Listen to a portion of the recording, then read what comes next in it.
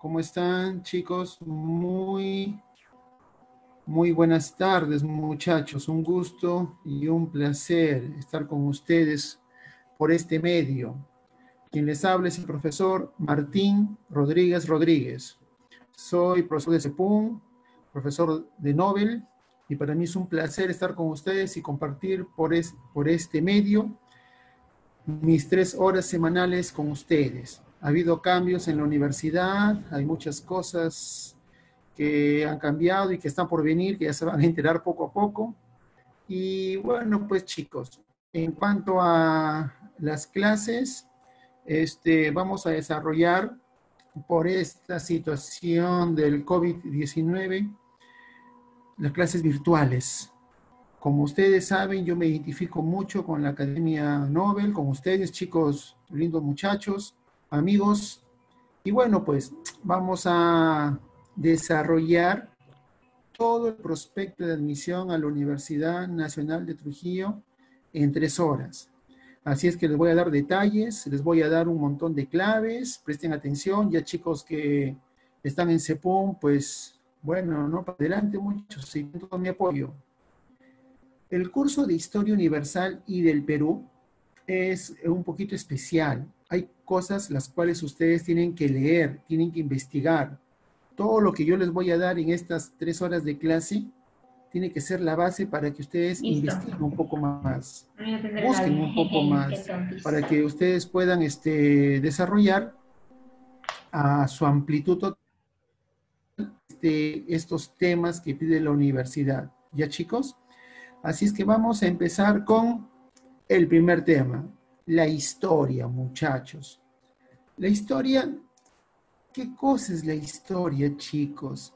La historia viene a ser todo un proceso. La historia es el análisis, viene a ser este, el desarrollo, viene a ser eh, el comprender todo aquello que pasó años atrás para saber cómo es nuestro presente. La historia es una ciencia social. ¿Cuál es el objeto de estudio principal? Es el individuo, tanto como una sociedad, así como también como parte de, de un todo, de una comunidad, de una provincia, de una región, de un país, de un continente, el hombre en su conjunto. Entonces, la historia es la ciencia que tiene por objeto de estudio el pasado de la humanidad, el pasado del hombre, tanto como un individuo, así como también como parte de una sociedad. Esta ciencia social abarca muchísimos aspectos, la economía, la antropología, la geografía, la sociología, la filosofía, paso muchachos, abarca un montón de circunstancias, ciencias complementarias. Entonces, la historia tiene que ver con la evolución del aspecto social, político y económico del hombre como parte de una sociedad. ¿Ya está? Eso es todo, chicos. ¿Quién es el padre de la historia? El padre de la historia viene a ser el señor Herodoto. ¿Dónde nació Herodoto? Nació en Alicarnaso. Por eso que también se le llama como Herodoto de Alicarnaso. Este griego tiene una principal obra, que viene a ser la Historie o la Historiae. Esta obra fue escrita en dialecto jonio, y tiene nueve tomos. Cada tomo está dedicado a una musa. Chicos, la obra Historie, Historia, Historiae es lo mismo. No se hagan ningún problema, muchachos. Algunos chiquitos son un poquito, un poquito chochos. Ustedes son buenos muchachos. Acá dice en este libro Historie y en otro libro dice Historiae. Normal, no hay problema, chicos tiene que investigar, leer un poquito más, no hay ningún problema, muchachos. Entonces, la historia es una ciencia social y su padre es el señor Herodoto de Alicarnaso. Ya está, muchachos. Ahora, las fuentes de la historia. Las fuentes de la historia son como 50 ciencias. Un alumno me preguntaba, profesor, en, en Wikipedia, en el Internet hay como 50. Claro, son un montón. Estoy colocando las más importantes. Nada más, chicos. Las fuentes de la historia se dividen de muchas maneras. Las ciencias, las, eh, las ciencias que directamente apoyan a la historia y aquellas disciplinas, aquellas artes que secundan, que complementan el conocimiento de la historia. Si pasamos a las fuentes históricas, las fuentes primarias, muchachos, podemos dividirlas en dos bloques. Las primarias no escritas y las fuentes escritas. Sencillísimo, muchachos. ¿Cuáles son las fuentes monumentales? En primer lugar, las fuentes monumentales son todos aquellos restos arqueológicos. Aquí se encuentran, supongamos que en el examen le vengan ejemplos y a ustedes, ya, pues no sé, sería, el colmo que no lo sepan, chicos. Las fuentes monumentales, los palacios, los templos, las casas, eh, las huacas, los templos religiosos, los edificios administrativos. Ejemplo, profesor, Chan Chan, la Huaca del Sol, la Huaca de la Luna, Sacsayhuamán, Machu Picchu, el anfiteatro, Cahuachi, la estaquería. Ya está. Todo esto lo hemos hecho en secundaria, ¿no? En primero de secundaria, en segundo, ya lo, ya lo han tratado en sus colegios, muchachos. Los restos humanos o materiales. Acá se encuentra la dama de Cao, la momia Juanita, la momia X, la dama de la máscara. Y en cuanto a los restos materiales, acá sobresalen un textil dentro de, dentro de un ajuar funerario, los utensilios, un tuni, un cuchillo ceremonial, un quero, un aríbalo. Ya está, chicos. En edificios, igual que los monumentales, una, por ejemplo, la huaca de la luna, la huaca del sol. ¿Qué cosa es la huaca de la luna? Es un recinto religioso. ¿Qué cosa es la huaca del sol? Un recinto político administrativo. Chicos, y también se encuentra por acá los testimonios orales. Acá se encuentran los mitos y las leyendas. El mito de Incarri, en la época de la invasión del Tahuantinsuyo, el mito del lago Titicaca, el mito de los hermanos Ayar. Ya está, chicos. La leyenda del rey Arturo, la leyenda de Drácula. Chicos, y en las fuentes escritas se encuentran todos aquellos testimonios, obras que son eh, plasmados en, un, papel, que son plasmados en diversos eh, medios. Por ejemplo, una obra literaria, El Rey Arturo, El Mago Merlín, este, La Espada Excalibur. Este, si pasamos acá a Perú, por ejemplo, este, a ver, la nueva crónica y buen gobierno de Felipe Guamán Poma de Ayala, las imágenes de los incas, las costumbres de los incas, los tratados, el tratado de Tordesillas, el tratado de Verdún, los censos, el censo de 1940, el de 1993, 92, creo que fue 91, un montón, el del 2017, un montón de ese.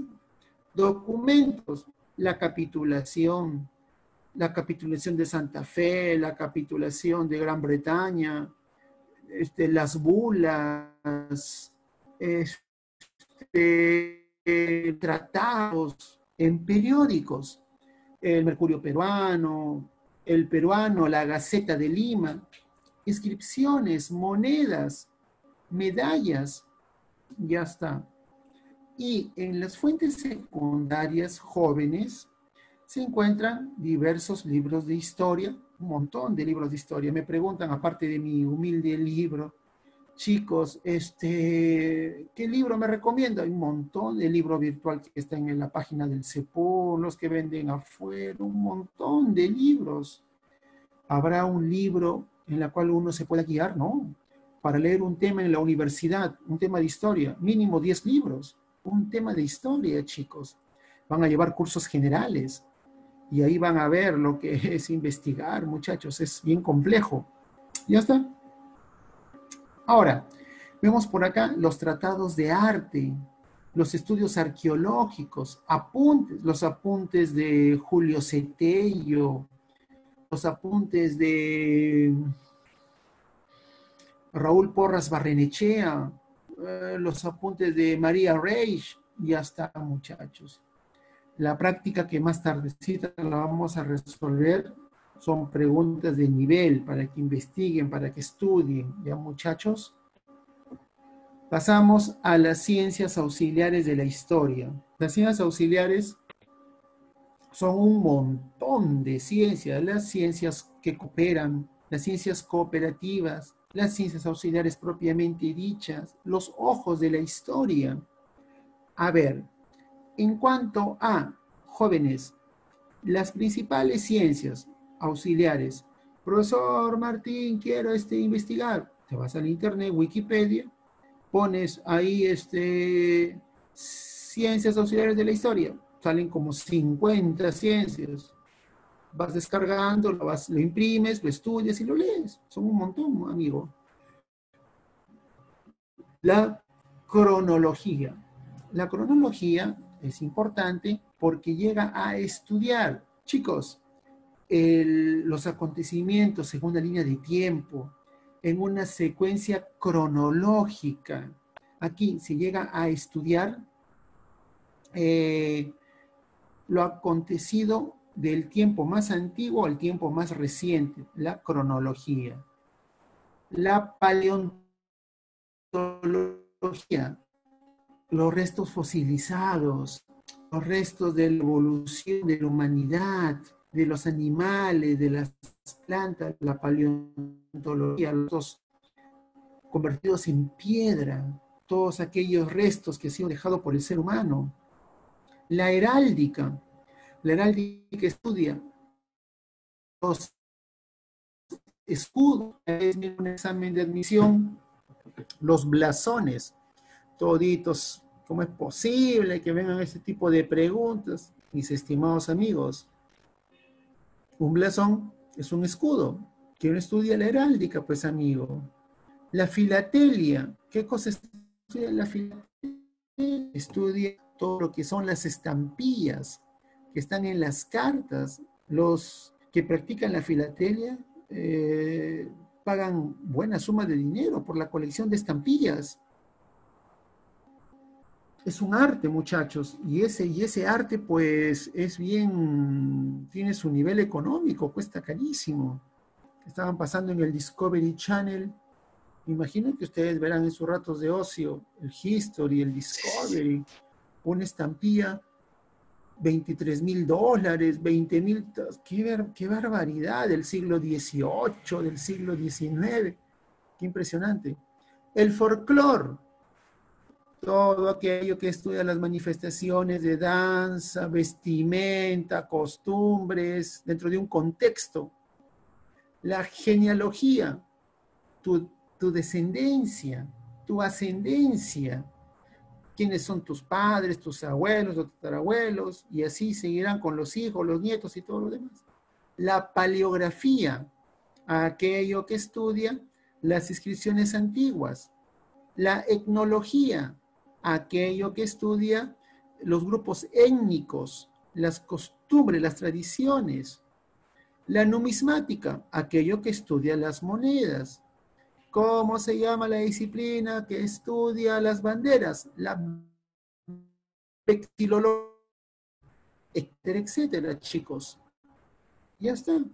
Para mí es un placer estar ya nos veremos por Sepun en las aulas que me han dado. Ahí ya nos vamos a ver, muchachos. Lógicamente, allá son dos horas, acá son, son tres. Y aquí lo van a aprovechar mucho más, muchachos.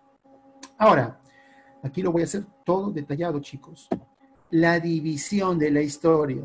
Saquen su cámara fotográfica, tómenle foto, estudienlo, repásenlo.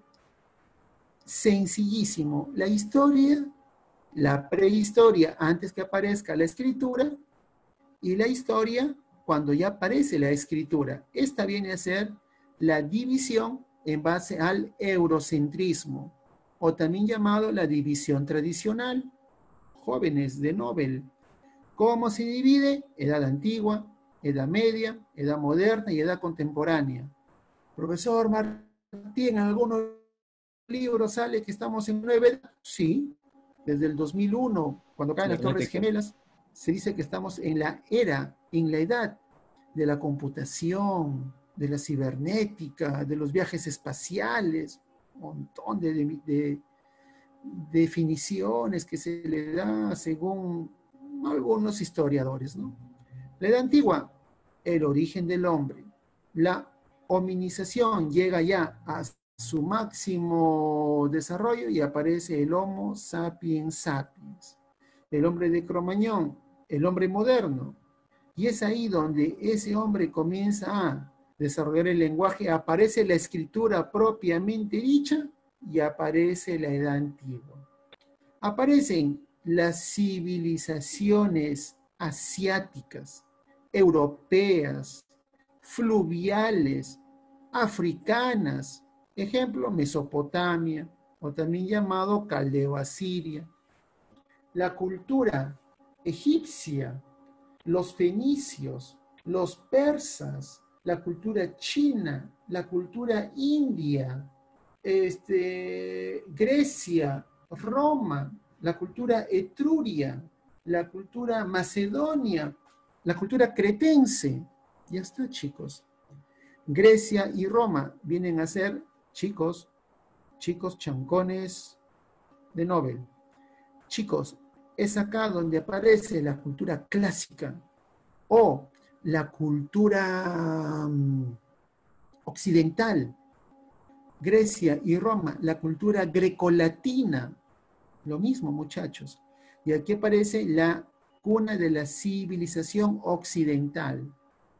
La Edad Antigua termina en el año 476 con la toma de Roma o la caída del Imperio Romano o la caída del Imperio Romano de Occidente. Y viene la Edad Media. En la Edad Media aparece el gran poder de la iglesia, el gran poder del cristianismo, el gran poder, el centro cultural. Todo se encuentra en la iglesia. ¿Cómo se llama también eso? El teocentrismo. El centro es Dios. El aspecto cristiano jugó un papel importantísimo. Y no se olviden muchachos que se subdivide en dos la alta edad media y la baja edad media. En la alta edad media aparece por ahí el poder de la tierra, el feudo. Y en la baja edad media aparecen los comerciantes, la burguesía. Aquí, algunos aspectos importantes que tú tienes que tener en cuenta, mi estimado amigo. En cuanto a eh, el feudalismo, vayamos un poquito más avanzando. El feudo, el poder de la tierra, los señores feudales, los castillos. El Islam, la religión islámica, es acá, jóvenes, donde aparece una expansión de sus creencias, de sus costumbres, de sus tradiciones, en base a Mahoma.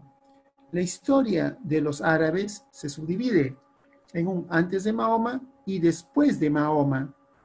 Toda la historia se basa en Mahoma, antes de él y después de él. Y después de su muerte comienza la expansión territorial. Y es acá donde se da la conquista de muchos lugares en África, en Asia, en Europa. ¿Ya está? Las cruzadas. Las cruzadas fueron ocho. A veces ponen nueve, profesor, porque la última se subdivide en dos. Y ahí aparece eh, Luis IX en la octava, en la novena cruzada. Y también se da por acá la, la aparición de las universidades. Una pregunta que vino hace poco fue la primera universidad, la Universidad de Bolonia, esa fue la primera. En el año 1080 en Italia, y esa fue la primera universidad. Para pasar de la Edad Media a la Edad Moderna hay un punto de referencia según el eurocentrismo. Y es acá, jóvenes, donde se encuentra la toma de Constantinopla o la toma de Bizancio. ¿Ya está? Y es acá donde se da el inicio de la Edad Moderna. Se toma Constantinopla, cae el Imperio Bizantino o el Imperio Romano de Oriente y aparece la Edad Moderna, año 1453. Profesor, en algunos libros ponen que la Edad Media termina cuando Cristóbal Colón llega a América. Claro que sí, también es aceptable. Colón no descubre América, Colón llega a América y lo da a conocer. ¿Quién descubre América? Los etruscos, los vikingos, los chinos, el Homo sapiens sapiens cuando cruzó el estrecho de Bering. ¿Qué significa descubrir? Llegar por primera vez. Cuando Colón llegó, no había acá ningún ser humano, había varios. Entonces el descubrimiento en filosofía, en la universidad, nos hacían estos debates, ¿no? El Homo sapiens sapiens, paleolítico superior, cruza Bering y descubre América. Pero eso ya les explicaré después. En la edad moderna viene por acá diversos estados modernos, viene por acá jóvenes, viene por acá las monarquías, este, viene por acá Castilla, Aragón, Nápoles, montón de estados modernos, monarquías absolutas, Francia, Alemania, el Sacro Imperio Romano Germánico. Y es acá donde viene la expansión europea. Los viajes de Portugal, Don Enrique de Avis, Bartolomé Díaz, Vasco de Gama, Pedro Álvarez de Cabral, Francisco de Almeida, Alfonso de Alburquerque, Recontras Chancones. Y Cristóbal Colón. Con Cristóbal Colón ya la cosa cambia con sus cuatro viajes, Llega Guananí, Cuba, Haití, Jamaica, Nicaragua, Honduras, Panamá, etcétera, etcétera. En la reforma aparece por acá jóvenes Martín Lutero, Juan Calvino, Enrique VIII, Ulrico Zwinglio, Alemania, Francia, Inglaterra, respectivamente, muchachos y la contrarreforma, la reacción de la Iglesia Católica es acá. Tienen que estudiar. Yo estoy que le doy todas las claves. En la contrarreforma aparece San Ignacio de Loyola con la Iglesia de la Compañía de Jesús o la Congregación de los Jesuitas o la Congregación de los SSJJ. Y ya está. Si pasamos recontra chancones a la edad contemporánea, viene la segunda revolución industrial Viene la Revolución Francesa. Sigue por acá. El imperialismo de los Estados Unidos. Falta poco para que estén en la universidad.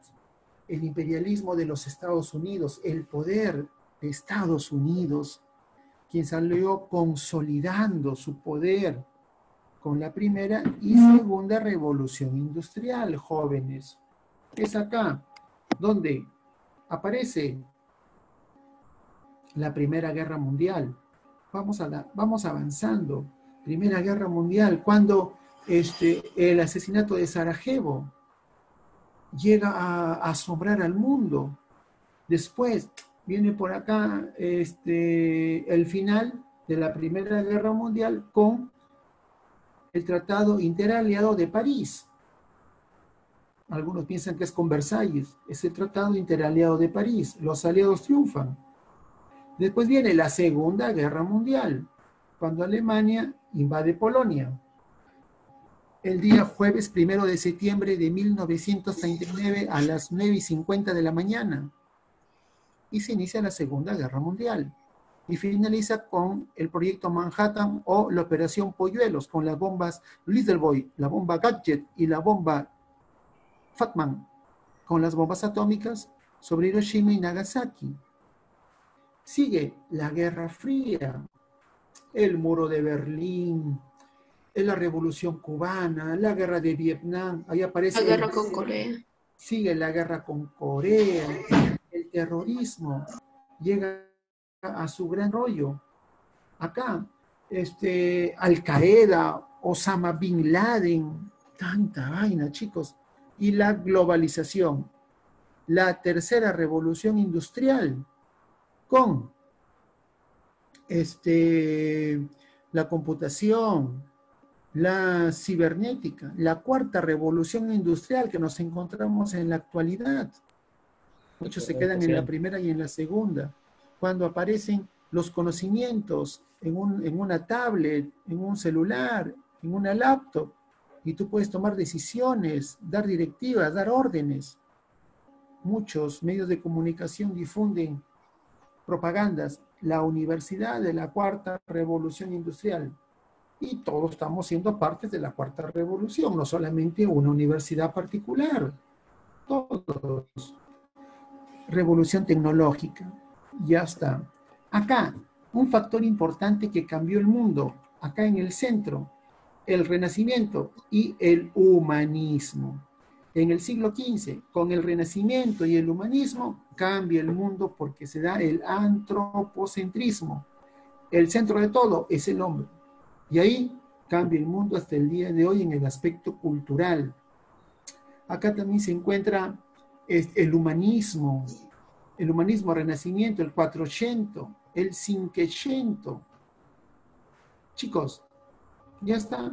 Edad contemporánea se inicia en el año 1789 con la Revolución Francesa o Revolución Burguesa de Francia. Y sigue hasta el día de hoy. Ya está. Eso es todo, muchachos. Ahora vamos a seguir por acá hablando de la historia del Perú. La historia del Perú viene a ser aquella descripción, aquel análisis, aquel estudio de la presencia del hombre, del accionar del hombre en nuestro territorio. Acá, chicos, veamos, este, de una manera tradicional, desde un punto de vista tradicional, se divide en Perú antiguo, Perú colonial y Perú independiente, Perú republicano.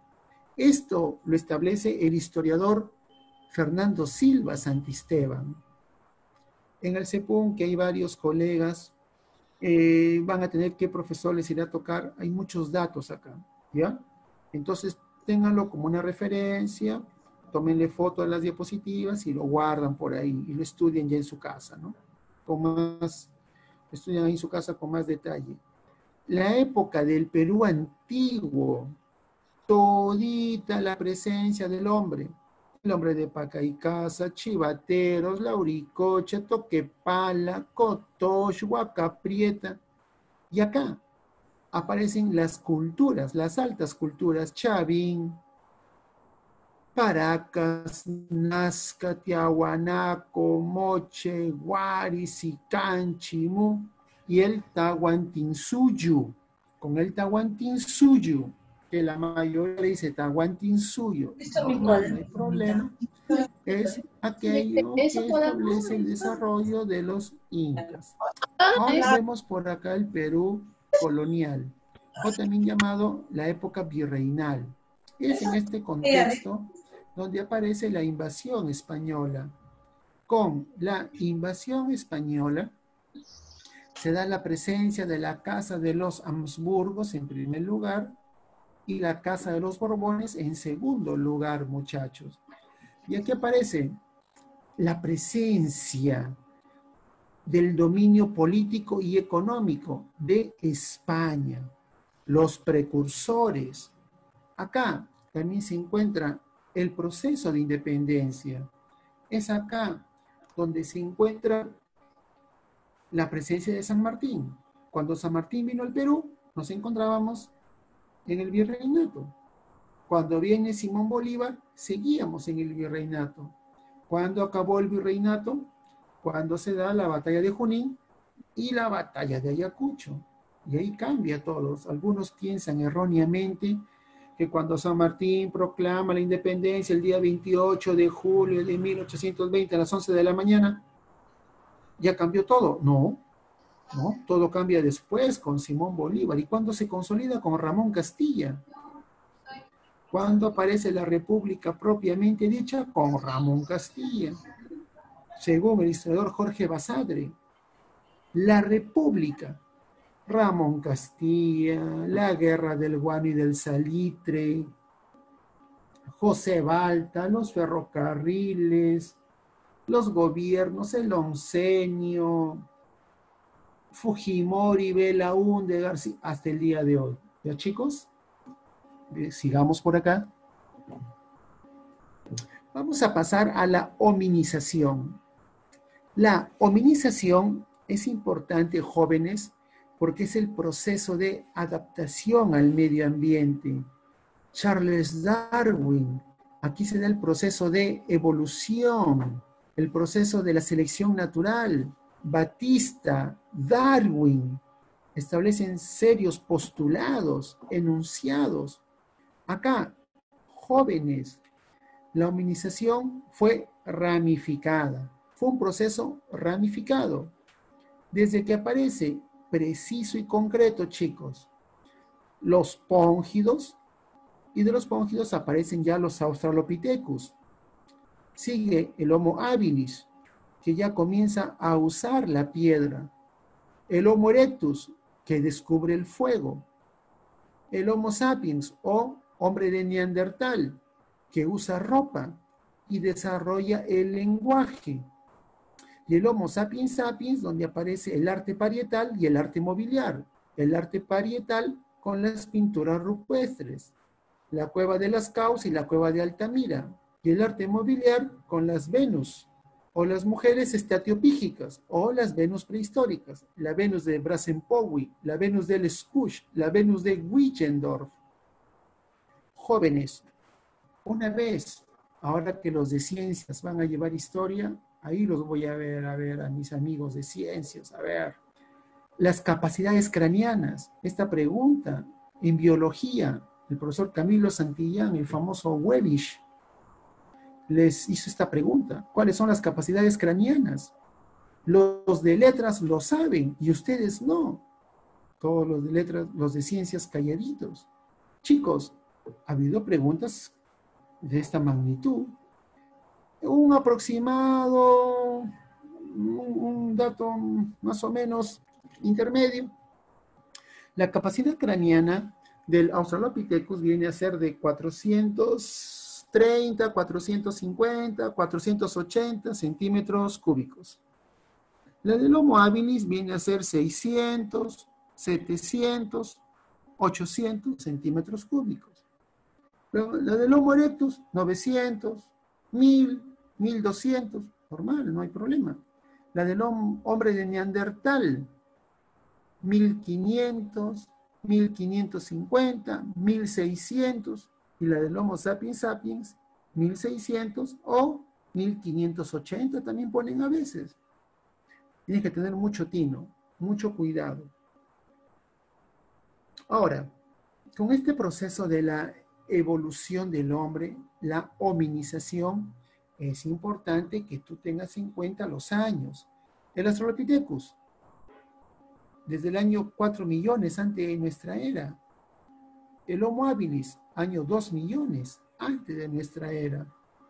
El Homo erectus, año 1 millón 500 mil.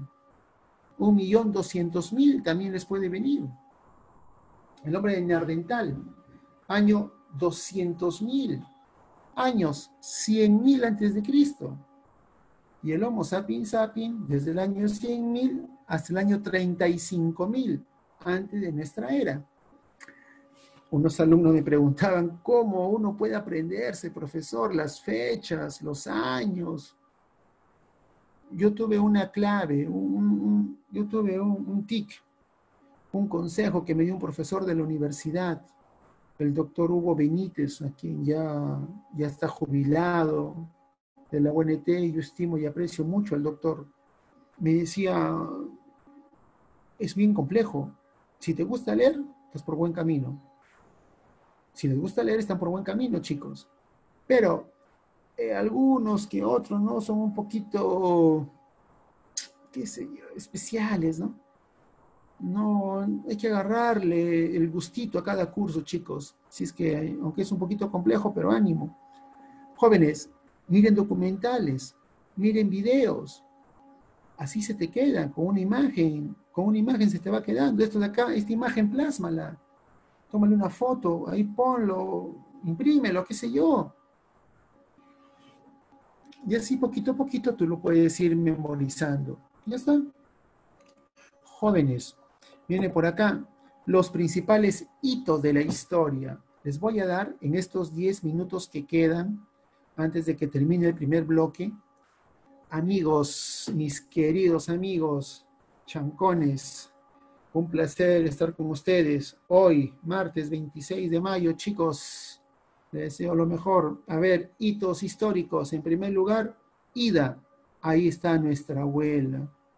Por acá tengo a mi amiga Gypsy. Acá está tu, aquí está tu, ancestro. Acá se encuentra Ida, un Darwinius macilae. El Darwinius macilae corresponde al año 47 millones antes de nuestra era. Y de acá salió en el History, en el Discovery Channel. Aparece uno de los inicios de la hominización Después viene por acá Ardi, una hembra, un Ardipithecus ramidus, del año 4.400.000 años antes de nuestra era, chicos. Esta especie, Ardi, podría ser como nuestra abuela. Es un comentario. Un alumno me dijo, profesor, ¿quién es la abuela de la humanidad? ¿Quién será la abuela de la humanidad? Te estoy poniendo un simple ejemplo, nomás, un comentario, nada más. Ardi, un Ardipithecus ramidus, y se ha encontrado solo parte de su cráneo, como lo pueden ver en esta diapositiva, parte de su cadera, sus brazos, su pierna, una pierna y sus patas. Sobresale que tiene el pulgar oponible, y esta especie se trepaba de los árboles y ya intentaba caminar. Se da los inicios del bipedismo. Pero cuando se desarrolla el bipedismo, se desarrolla con Lucy, con los Australopithecus afarensis. Hay muchas cosas en historia, muchachos. Viene por acá Lucy, nuestra madre. Lucy viene a ser un Australopithecus afarensis del año 2.500.000 años antes de nuestra era. ¿Qué se encontró de Lucy? Parte de sus costillas, parte de su columna vertebral, sus dos brazos, una parte de su cadera, una pierna y el otro lado de la, de la, de la pierna incompleta. Miren muchachos, acá un dato importante es que Lucy es considerada como la Eva de la humanidad. Cualquier pregunta que te hagan mis estimados amigos ¿Quién es la Eva de la humanidad? Lucy. Con Lucy, que viene a ser un Australopithecus afarensis, se da el inicio del árbol genealógico del ser humano. Y esa pregunta les viene en otro examen. Chicos, hacer ahora dos sumativos, ¿no? Ya lo saben, imagino algunos. Concentración, a estudiar, muchachos. Acá es importante, ¿por qué? porque con Lucy se da el inicio del árbol genealógico del ser humano y es acá donde ya este, se comprueba el bipedismo en su total expresión. Hay teorías que este resto encontrado de Lucy eh, salió en el, cable, ¿no? que estaba preñada. Y también aparece por acá otros grandes restos, eh, las pisadas de la Etoli, las, huellas fosilizadas. Que se dejó como presencia del ser humano, chicos. En cuanto a la edad de piedra, la edad de piedra es importante, jóvenes, porque viene a ser el momento en el cual, según este, lo usado por el hombre, se llega a establecer una división de la economía, el paleolítico, el mesolítico y el neolítico. ¿Qué pasó en cada uno de ellos? Jóvenes, en el paleolítico, que se da desde el año 2.500.000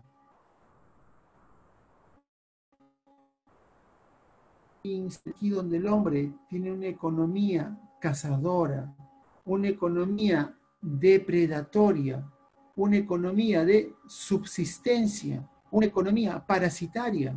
El hombre era cazador, recolector y pescador, ¿qué muchachos? Es acá donde el hombre anda de un lugar a otro. El hombre es nómade, es nómade. Ya está, chicos. Es cuando también aparece el uso de la piedra, la piedra, el inicio de la piedra, la piedra incipiente. Y es acá donde el hombre usa la piedra para poder cazar, para poder pescar. Y está. Y acá se da la dominación del fuego. El paleolítico se subdivide paleolítico inferior, superior, por si acaso algunos quieren un poquito más investigar. En el paleolítico inferior, el Homo habilis y el Homo erectus. En el paleolítico medio, el Homo sapiens. Y en el paleolítico superior, el Homo sapiens sapiens.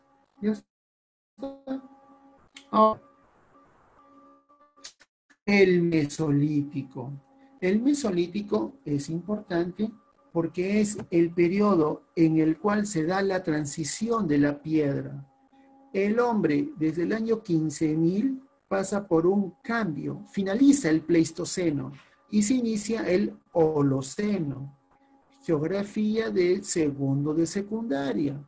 Pleistoceno, la era del hielo, el mundo se congela, se descongela, se congela, se descongela, se vuelve a congelar, se vuelve a descongelar, se vuelve a congelar otra vez, se vuelve a descongelar. El mundo tuvo cuatro glaciaciones y tres periodos interglaciares.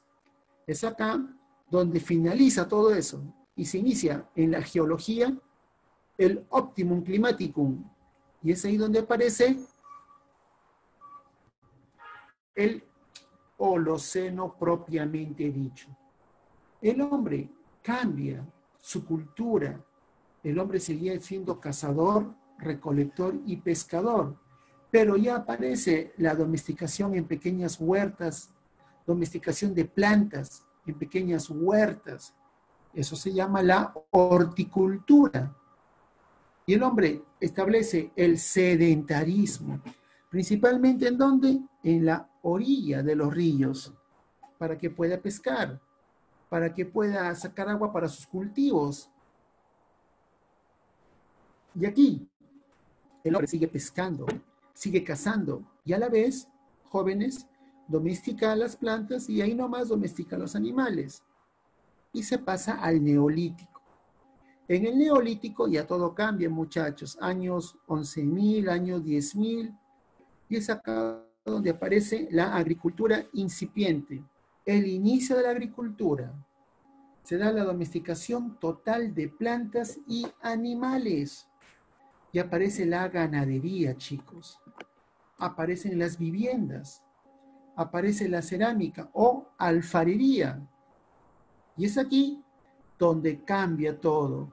¿Cómo se llama eso? La revolución neolítica, la primera revolución de la historia.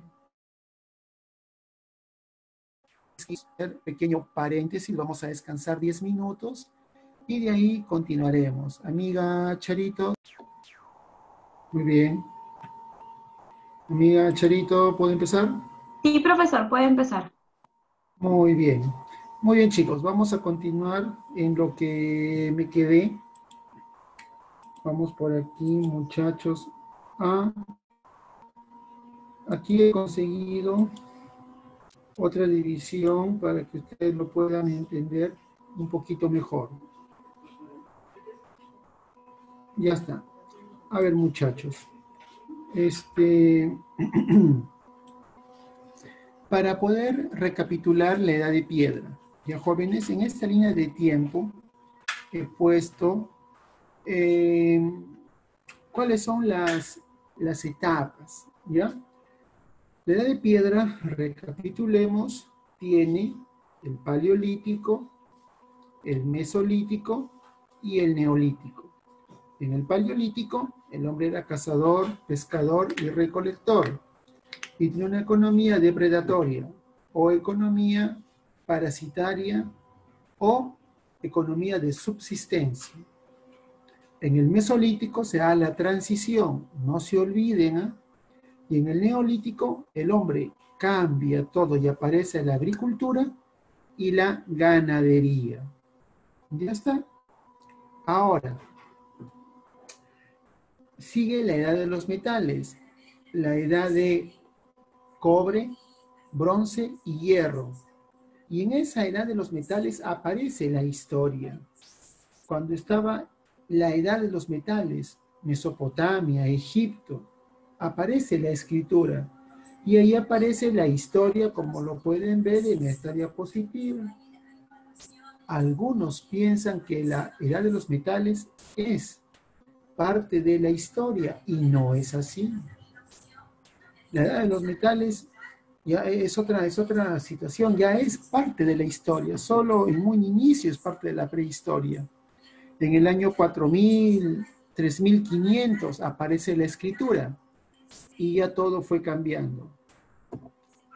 Chicos, lo que de repente algunos no tomaron este, un poquito de atención Acá está especificadito. Tómale una foto con tu celular, por favor. El paleolítico se divide en tres etapas. Mira, con esta diapositiva ya está todo, hermano, ya. Paleolítico inferior, paleolítico medio y el paleolítico superior. Sencillísimo, muchachones. En el paleolítico inferior es ahí donde se encuentra qué especies de la evolución humana, el Homo habilis y el Homo erectus. Ahí están las dos principales especies de la evolución humana. ¿Cuáles son los aportes culturales, muchachos? En primer lugar, aparecen las herramientas, primeras herramientas de piedra.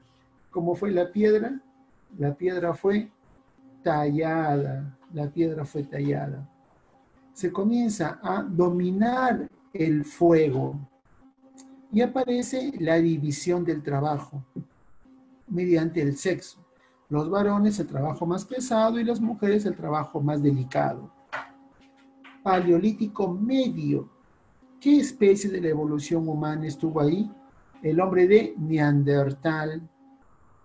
Aportes culturales. Aquí aparecen los primeros entierros se entierra a los cadáveres, muere un individuo, se comienza a podrir, huele mal, este, un olor nauseabundo, aparecen los gusanos, la fauna calavérica, pasa a otra dimensión.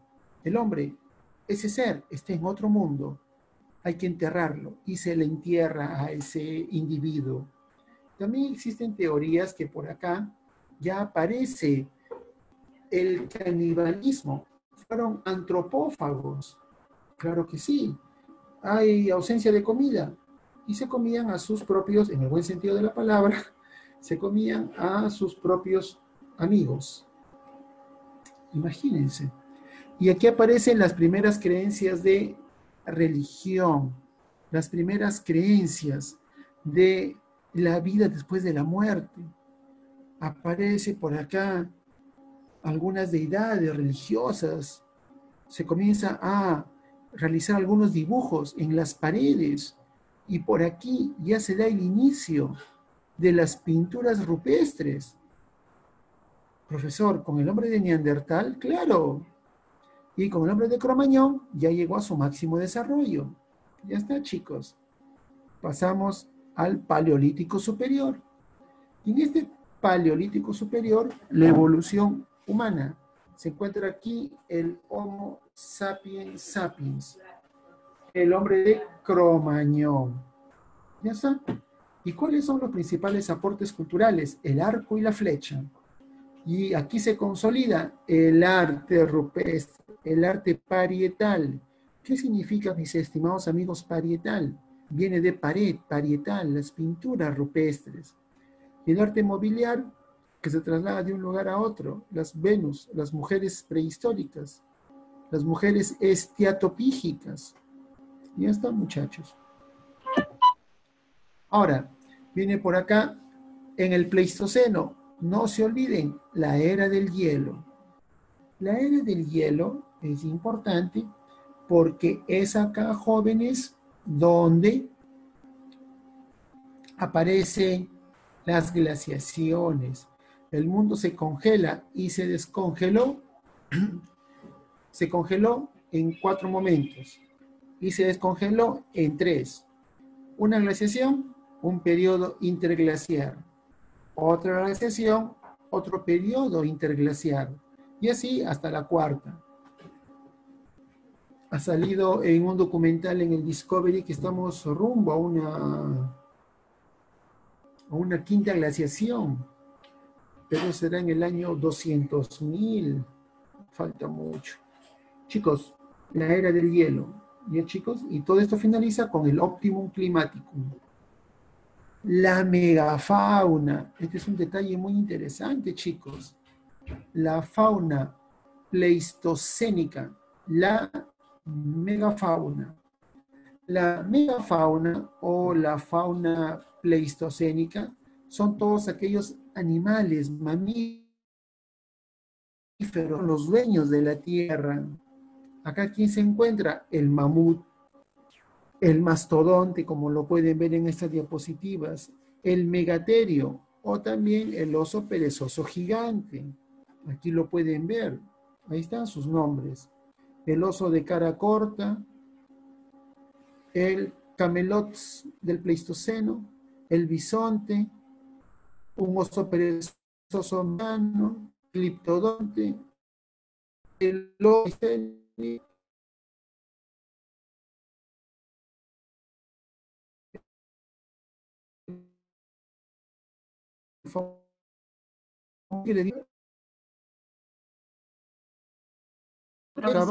Realmente eh,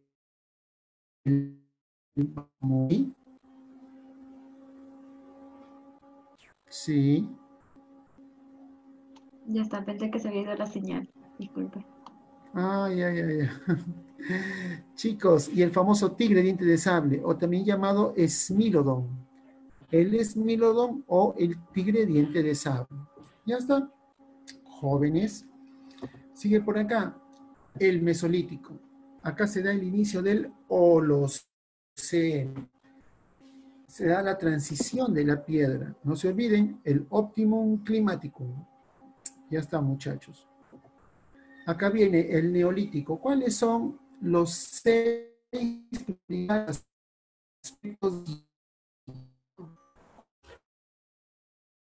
primer lugar, cultura. En segundo lugar, la ganadería. En tercer lugar, la herramientas. La es vida.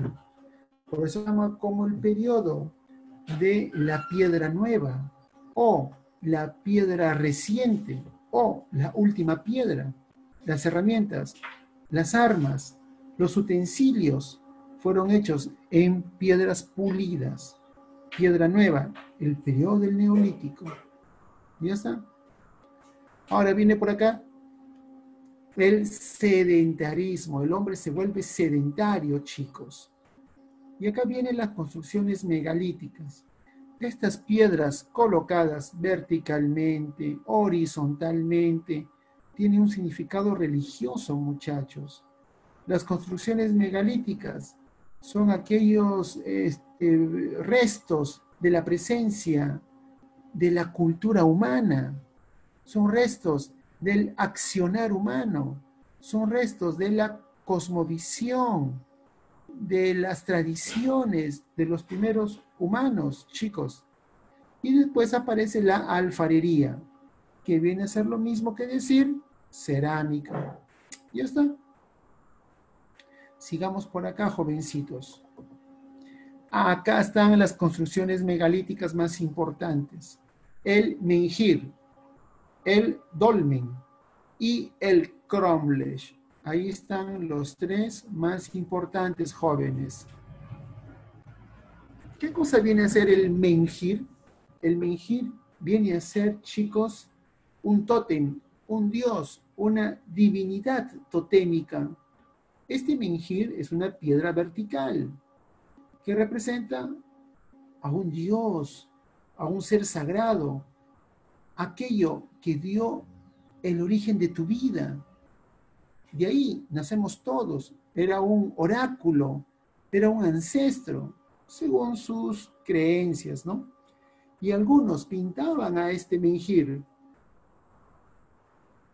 colocaban dibujos de toros, dibujos de vacas, de búhos, y los indios daban vuelta alrededor, bailando. El menjir, un dios, una divinidad. ¿Qué cosa es un dolmen?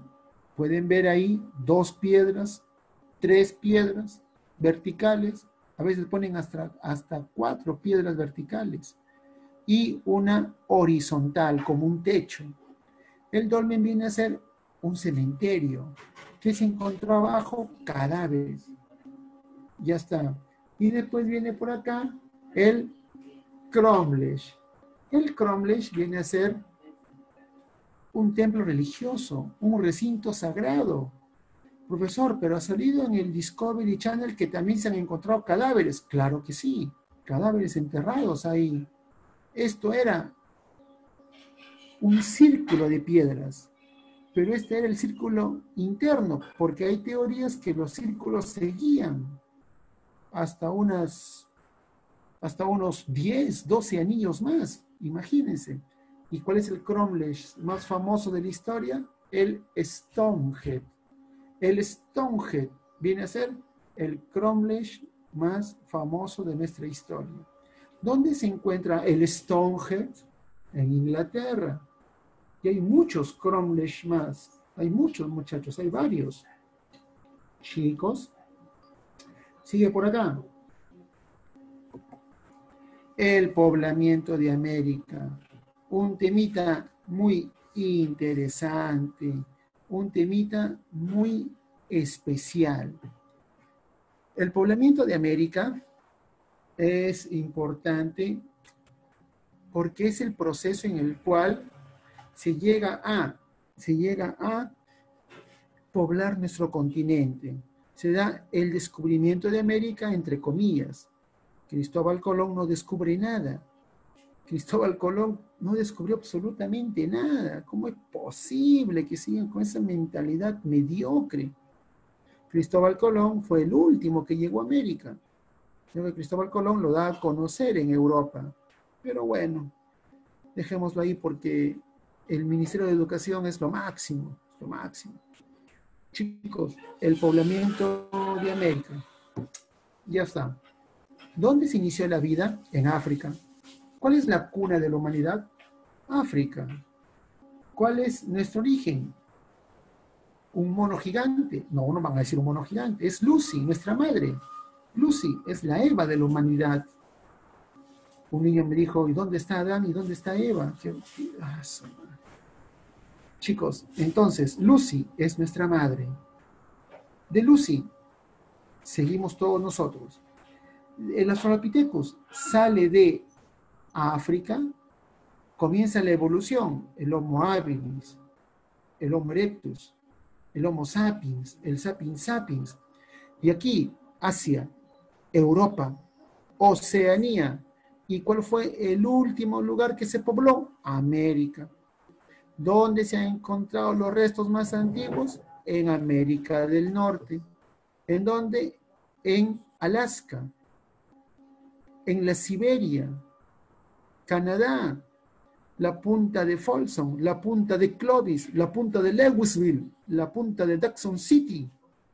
Acá se descubre las primeras piedras, las primeras armas. Después vienen los melanésicos, vienen los polinésicos y al último los australianos. Comprobado que el hombre pasó por el estrecho de Bering. Es el, más antiguo, la más antigua ruta, el más antiguo camino ¿Y el hombre por qué vino de Asia a América? ¿Ah? En busca de comida. En busca de comida, mi estimado amigo. Claro, Jesús, el hombre vino en busca de comida, siguiendo al megaterio, siguiendo al mastodonte, siguiendo al mamut que llega a desaparecer en América del Norte hubo mamuts, en América del Sur hubo mastodontes, ¿ah? por si acaso. En el Perú, ¿alguna vez hubo algún mamut? No, nunca. Hubo mastodontes, que vienen a ser los primos hermanos. Y esto, muchachos, como pueden ver, el hombre pasó el estrecho de Bering por el año 40.000, 50.000, 60.000, 70.000 años antes de nuestra era. Profesor, pero a mí me han dicho en el CEPU, sí, pues es referencial, no lo tomen todo a pecho. No lo tomen a pecho. Hay muchos datos, muchas conjeturas, muchas hipótesis, muchos, hay varios chicos, normal, no se hagan problemas. La historia es bonita cuando te dan así detalles para que tú te quedes picado y busques más, indagues, chancón. Ahora, esto se da cuando el hombre se encontraba en el Paleolítico Superior. O sea, ¿quién llegó a América? El Homo sapiens sapiens. A América. ¿Llegó el Australopithecus? No. El Homo habilis, peor. El Homo erectus, nada que ver. El hombre de Neandertal, mucho menos. El hombre de Cromañón, pues él fue el que cruzó Bering y llegó a nuestro territorio. Ya está. Y ahí lo pueden ver el poblamiento de Norteamérica, Centroamérica y Sudamérica. Ya está. Y en ese contexto, en el Perú, ¿cuál es el resto más antiguo en el Perú? Paicasa. El hombre de Pacaicasa, Gypsy. Profesor, ¿qué tal? Tienes todo mi apoyo. Tienen muchos, ya, muchos ya tienen mi Facebook, ya tienen ahí mi celular Cualquier consulta, con confianza, chicos, con confianza. Soy su amigo y estamos para compartir el conocimiento todos. ¿Ya, muchachos? Jóvenes, ahora seguimos por acá. Uno, la teoría autoctonista, muchachos. Miren, cinco ideas principales, ya con todo cariño para que ingresen a la universidad. Chicos, autor Florentino Amellino, un chivolo de 20 años. Este decía que el hombre era propio. América. El hombre de las pampas de Argentina. ¿Cuál fue su, denominación científica? El Homo pampianus argentino. A ver, si me captas esto de acá, pucha, y eres lo máximo, hermano. Y aquí aparece el cuadro filogenético. Y ese cuadro filogenético, según la antropología, es aquel que establece el origen del hombre americano según Florentino Amellino. Y este cuadro filogenético, a ver, voy a ver tu nivel, chancón. Este cuadro filogenético, según Florentino Amellino, establecía que todo apareció con el plano arguiado o plano angulado que cuando evoluciona pasa al tetraprotomo. Del tetraprotomo pasó al triprotomo. Del triprotomo pasó al diprotomo. Del diprotomo pasó al protomo. Y del protomo pasó al hombre actual. Y en ese contexto aparece el Homo pampianus argentino. Recontra chancón. Hay que estar preparados. Profesor, ¿lo puede repetir más lento? Claro. Aquí aparece el cuadro filogenético. En este cuadro filogenético aparece el plano arguiado o plano angulado. que viene a ser un paralelo con este, Ida, con el Darwinius macilae. Ahí está. Después viene el tetraprotomo, tetra, 4, tri, 3, di, 2, pro, 1, tetraprotomo, cuarto nivel, triprotomo, tercer nivel, diprotomo, segundo nivel, protomo, primer nivel. En ese contexto aparece el Homo pampianus argentino. Ya está. Es todo, mis queridos amigos. ¿Qué establecía la teoría autoctonista con el famoso florentino Amellino, muchachos? Es acá donde se establece que el hombre era propio de nuestro territorio. Es acá, jóvenes, donde el hombre es propio de América. Esta teoría fue descartada, todo fue falso, nos engañó. ¿Y qué decía? Que este hombre era de la era terciaria.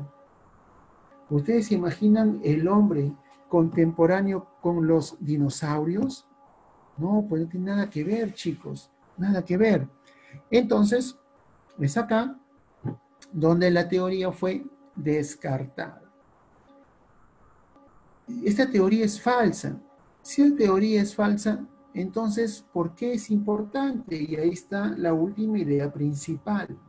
Es importante por su carácter americanista. América es la cuna de la humanidad y por ese y por ese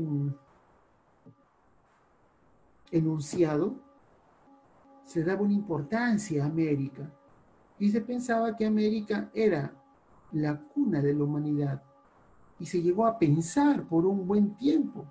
Entonces, solo es importante por su carácter americanista. Nada más, muchachos, ¿ya? Por su carácter americanista.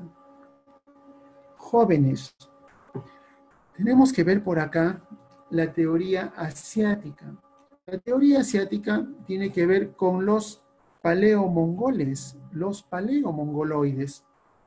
Y estos paleomongoloides vienen a ser pueblos de raza amarilla, de raza asiática.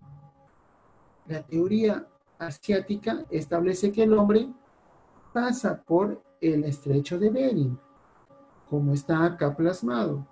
Y llega a América del Norte, después llega a América del Sur y se comienza a poblar todo nuestro territorio.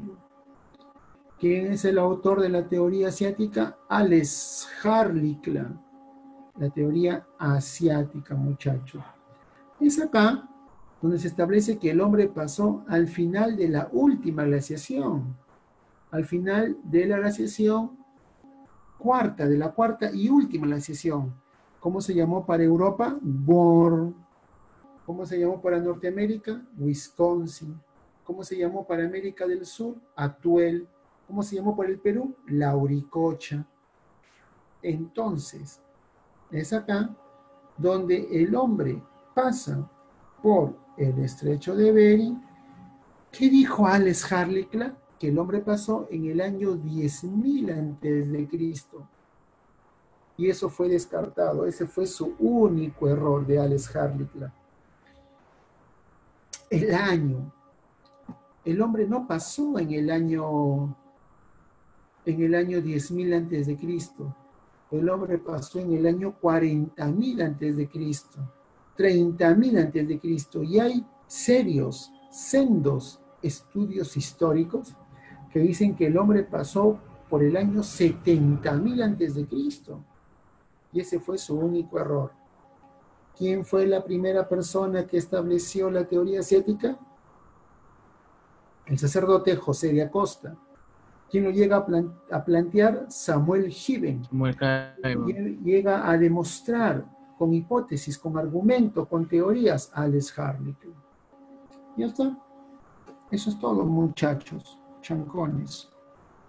Ahora, la mancha mongólica. La mancha mongólica hace referencia, chicos, a, como le llaman comúnmente, una micha. esta mancha mongólica se encuentra encima del pompis y finalizando tu espalda. ¿Cómo se llama esa zona, por favor? Esa viene a ser la zona lumbar. En la zona lumbar se encuentra la mancha mongólica. Muchos de ustedes lo deben de tener. Incluso hasta algunos africanos también lo tienen. El africano es negrito y su mancha es bien moradita y lo tienen. Aquellos alumnos que tengan esta mancha mongólica en esa zona, en la zona lumbar, tienen su origen asiático. Otra cosita importante por acá es el pliegue mongólico. Algunos japonesitos, algunos coreanos, algunos chinos se dan cuenta de su ojo que está así ovalado. Hay una telita, acá con el cursor estoy que lo señalo. Hay una tela acá que tape el lagrimal. Esta telita, eh, este pliegue, este pliegue de piel, estoy con el cursor que lo señalo. Estos pliegues de piel que tapan el lagrimal hace referencia a un origen asiático. Ese viene a ser el pliegue mongólico. Ese pliegue mongólico es un rasgo antroposomático o un rasgo físico que se encuentra en la mayoría de asiáticos. Ya está, ya está chicos. El cabello lisótrico, aquellos que tienen el cabello lacio. Las chicas lo tienen su cabello lacio, natural, y manifiesta su origen asiático. Los varones que tienen el pelo, el cabello lacio, todo parados, todos trinchuditos así, su origen es asiático. Ahora, el diente en forma de pala. Eh, los dos dientes de, las, de la parte delantera sobresalidos, los dientes en forma de pala, que también es un rasgo de la teoría asiática, muchachos. Los dientes en forma de pala. Sigue por acá la teoría melanésica. La teoría melanésica es importante porque aquí está Paul Rivet. Paul Rivet, su profesión, médico. Y también Paul Rivet fue etnólogo, médico y etnólogo. Ya está jóvenes. Este señor es importante porque establece que llegaron a América los melanésicos en primer lugar. Los melanésicos son hombres de color, hombres de color negro. La melanina es una pigmentación que te da el color oscuro de la piel. Tienes eh, más melanina, eres bien morenito. Tienes menos melanina y eres más blanquito o trigueño. Estos hombres de color llegaron por una ruta oceánica y llegaron a América Central y América del Sur. Paul Rivet establece la teoría melanésica y aquí sobresale un montón de pruebas, las pruebas etnológicas o también llamadas etnográficas, chicos. Acá viene, en primer lugar, gran cantidad de pruebas etnológicas o gran cantidad de pruebas etnográficas. También te puede venir así, muchachos. ¿Qué cosa aparece por acá? Una ofrenda. La ofrenda del espondilus. ¿Qué cosa es el espondilus? Ahí lo pueden ver. Es la moneda de los dioses. La moneda de los dioses es lo más sagrado, es, este, el resto arqueológico más importante que predice, predice las lluvias, la cobada. Esta, esta concha, la cobada, este espóndilus o también llamado muyu, es entregado en una ofrenda. La ofrenda, el accionar, la ceremonia se llama cobada. La cobada viene a ser la acción. La cobada es el accionar de los melanésicos para entregarlo, entregar ofrendas, ofrendas religiosas. En la línea ecuatorial, zonas tropicales, se encontraba, se encuentra hasta el día de hoy el espóndilus. Y esto es una presencia de que todo va a ir bien, de que los dioses envían sus bendiciones. El espóndilus, que está en el Ecuador, ha sido encontrado como restos, como ofrendas en la cultura moche, en la cultura chavín, Tiahuanaco, Huari, los incas. Se encontraba hasta por Argentina, por Chile, ofrendas del espóndilus, o también llamado el muyu, que viene a ser lo más sagrado, muchachos. Viene por aquí las canoas dobles o canoas con balancín, también llamadas las piraguas. ¿Qué es esto, muchachos? Las canoas dobles o canoas con balancín vienen a ser una presencia del conocimiento marítimo. Los melanésicos tuvieron muchos conocimientos marítimos y con estas canoas demostraron su gran habilidad en el dominio de las corrientes, de las corrientes en alta mar, las canoas dobles o canoas con balancín. Ya está. Miren muchachos. Sigue por acá. Los morteros. ¿Qué viene a ser un mortero? Viene a ser un instrumento de cocina. Viene a ser un instrumento para poder hacer sus pastas, para poder hacer sus menjunjes, para poder hacer sus, qué sé yo, sus molidos para la gastronomía. Los morteros también es de los melanésicos. Las cerbatanas. Las cerbatanas vienen a ser este, unas agujas, huesos sacados filo con algunos venenos y con un tubo largo, una caña larga se sopla y la cerbatana sale directo, como una especie de proyectil, como un balín, y eso puede servir para, para pescar, para cazar las cerbatanas, muchachos. ¿Ya? Ahora, sigue por acá, las hamacas. ¿Qué cosa es una hamaca? Es una tela que se amarra en una esquina en un, árbol, en una viga, y se amarra al otro lado. Y ahí este, las personas pueden descansar. Las hamacas, los morteros, todo eso viene de los melanésicos. Y eso también usamos acá en el Perú. Claro que sí, muchachos. Ahora, sigue la teoría, la teoría polinésica. La teoría polinésica es importante porque acá también lo llega a sustentar Paul Rivet. Paul Rivet sostiene que después que llegaron los melanésicos a América del Centro, a América del Norte, a América del Sur, después llegaron los polinésicos. Y los polinésicos solo llegaron a América del Sur, pero en su ruta. Como lo pueden ver acá, los melanésicos llegan al norte y los polinésicos llegaron al sur y pasaron por una isla que se encuentra bajo la administración de Chile. Pasaron por la isla de Pascua. La isla de Pascua viene a ser un recinto especial religioso para las ofrendas de los polinésicos.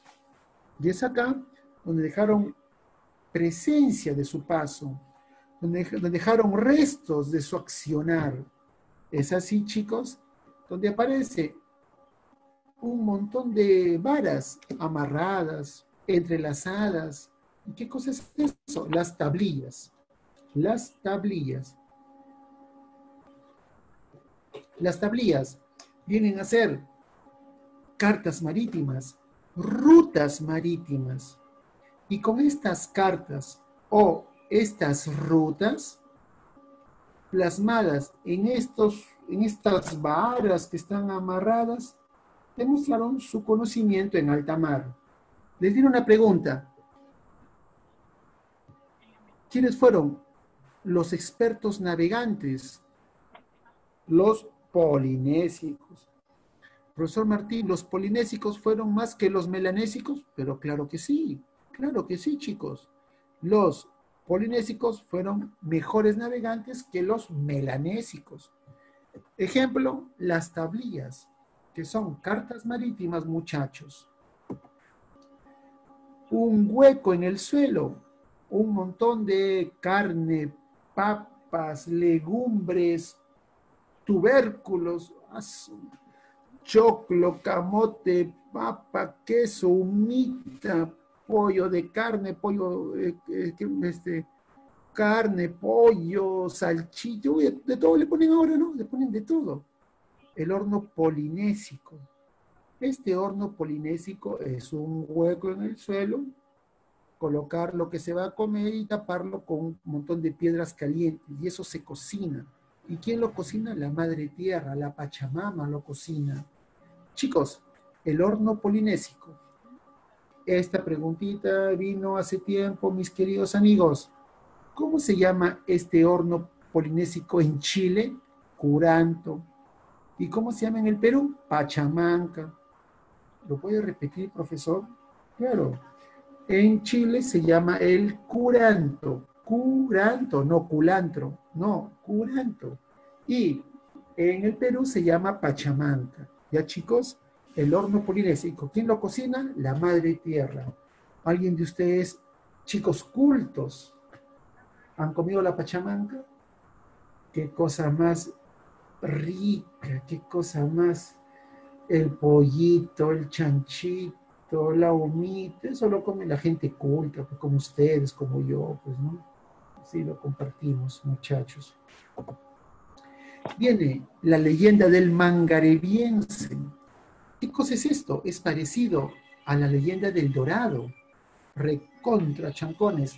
La leyenda del mangarebiense viene a ser, viene a ser una, un comentario, un, relato de un personaje que, se, que salía desnudo, parecido al dorado, pero estaba pintado de color rojo o tenía indumentaria roja. Y este señor pintado de color rojo o con vestimenta roja era el famoso Tupa. ¿Quién es el Tupa? Es el ser sagrado, el Tupa. Y de repente por ahí vendrá la palabra Tupac Amaru, ¿no? De repente. Chicos, este señor salía en una balsa trayendo bendiciones. En América, este, en el Perú, el dorado. En, este, en Chile, en Argentina, el mangaribiense. salía desnudo para traer bendiciones a la comunidad, bendiciones al pueblo. Chicos, sigue por acá. La isla de Pascua, jóvenes, en películas, en dibujos animados, ah, sale por todo lado estas imágenes. ¿Quiénes son esos? Unos monolitos, una sola piedra tallada, los moais, que son divinidades, dioses protectores, guardianes, los famosos moais. Han encontrado algunos moais que han sido excavados y se les ha encontrado su cuerpo, sus brazos, su cintura, sus piernas, sus pies. Muchos pensaban que solamente eran cabezas y no son solo cabezas, son, son imágenes antropomorfas, forma de seres humanos, los moais, y que representan a los protectores de la comunidad. ¿Quién es el historiador peruano que llegó a esa zona a investigar y después a la Polinesia? quién es el investigador peruano. Si uno de ustedes lo sabe, estoy con gente trome. Los escucho.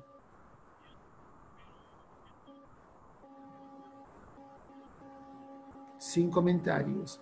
El historiador peruano que llegó primero de secundaria, chicos, a esa zona a investigar y después se fue a la Polinesia, doctor José Antonio del Busto Duturburu. Él viene a ser el principal historiador. El examen va a estar chévere, ¿no? Va a estar chévere. Vamos a ver cómo serán los sumativos esta vez, chicos. Eh, humildemente les cuento, algunos ya saben, ¿no? Algunos.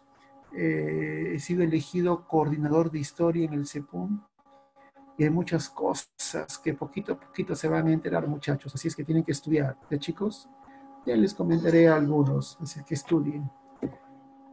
La expedición del Contiki. La expedición del Contiki viene a ser una travesía que parte de Callao, Lima, Perú, a cargo del excursionista noruego Thor Heyerdahl, en el gobierno del presidente José Luis Bustamante Rivero. Sale Thor Heyerdahl con unos cinco o seis amigos más en una balsa que habían construido. Según la teoría, ¿quién es el Inca navegante? Tupac Yupanqui. Él construye una balsa y con dos mil indígenas llegaron a la Polinesia. ¿A qué región de la Polinesia llegaron, chicos? Llegaron a Mangareva. Y es ahí donde aparece restos de la cultura incaica, chicos. Y así, con el Contiki, se llega a comprobar, a establecer, a aceptar, a considerar que los incas, que los americanos, que los antiguos peruanos habían llegado a la Polinesia, muchachos. La expedición del Contiki. ¿Ya? Muy bien. Última teoría, muchachos. Y en la otra hora hacemos la práctica que ya les repartieron. La teoría australiana. La teoría australiana fue dada por Antonio Méndez Correa.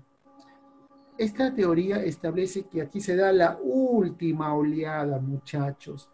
El hombre sale de Australia y pasa por el Polo Sur. Y aquí demuestra una gran resistencia al frío, muchachos. La teoría australiana. El hombre llega durante los inicios del Holoceno, cuando se estaba dando el clima óptimo, el optimum climaticum, y es acá donde, según el doctor Antonio Méndez Correa, el hombre llegó a la Patagonia, a la Tierra del Fuego. Y aquí se da la incursión del hombre por el sur. Y esta viene a ser la última oleada del poblamiento de América, muchachos, ¿ya? La última oleada. Esto se da en el año 10.000, en el año 9.000, antes de nuestra era. Acá, ¿qué cosa aparece? Un montón de similitud lingüística, la forma del cabello. Chicos, acá, el boomerang, un arma, el boomerang. ¿Qué cosa es el boomerang? Es un arma. Y es acá donde la teoría australiana lo llega a sustentar como una prueba principal. Los marsupiales, el canguro, eran cazados por los antiguos australianos. Y acá viene la parte final. Chicos, se acabó todo. Conclusión. Tomenle foto. Con este mapita ya está todo resumido, muchachos. Ya con esto ya. Ustedes son lo máximo, chicos. A ver, miren, ¿ah? Este es su regalo, ya, este es su regalo. Por el norte, la teoría asiática. Pero aquí hay tres rutas. Uno, el hombre pasó por el estrecho de Bering. ¿Cómo se llamó ese lugar cuando se llenó de hielo? La Beringia. Y la Beringia es un puente natural que tuvo aproximadamente 150 kilómetros de ancho y 90 kilómetros de largo. Los seguidores de Alex Harlikla sostienen que el hombre también pudo haber llegado siguiendo las islas Aleutianas, un, conjunto, un archipiélago, un conjunto de islas. Acá, los asiáticos de las islas Aleutianas pasaron de isla en isla y llegaron a Norteamérica. Y otra, y otra teoría de los seguidores de Alex Harlikla sostiene que el hombre llegó de Asia a América siguiendo una corriente, la corriente del Kuroshiwo. ¿Qué significa eso? Río, Río Negro. Y por esa corriente marítima, el hombre llegó a nuestro territorio. Segunda conclusión, la, teoría oceánica. La teoría oceánica tiene que ver con dos, con los, en primer lugar, los melanesios y en segundo lugar, los polinesios. Aquí lo pueden ver. ¿Quién lo estableció? Paul Rivet. No se olviden, por favor. Y la teoría australiana. ¿Cuántos chicos que es un placer estar por este medio, volvernos a reencontrar? Una clave importante. El hombre sale de Australia. ¿Y cuál fue la ruta? Toditos se querían morir, amigos. Pasó por Tasmania, pasó por la isla Auckland, pasó por las islas Macquarie, y pasa por la Antártida o la Antártica, es lo mismo. Y llegó a la Tierra del Fuego y a la Patagonia. ¿Ya muchachos? Ya está.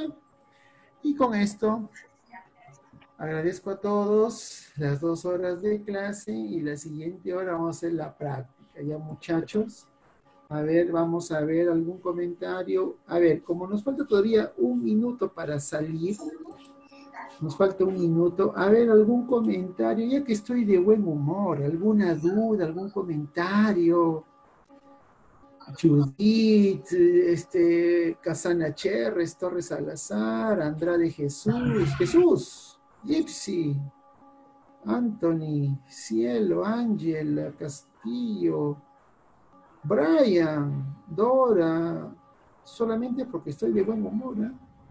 ¿Alguna consulta, algo? De repente, a ver, queda un minuto. Profesor, ¿podría eh, subir el, el ¿cómo se llama?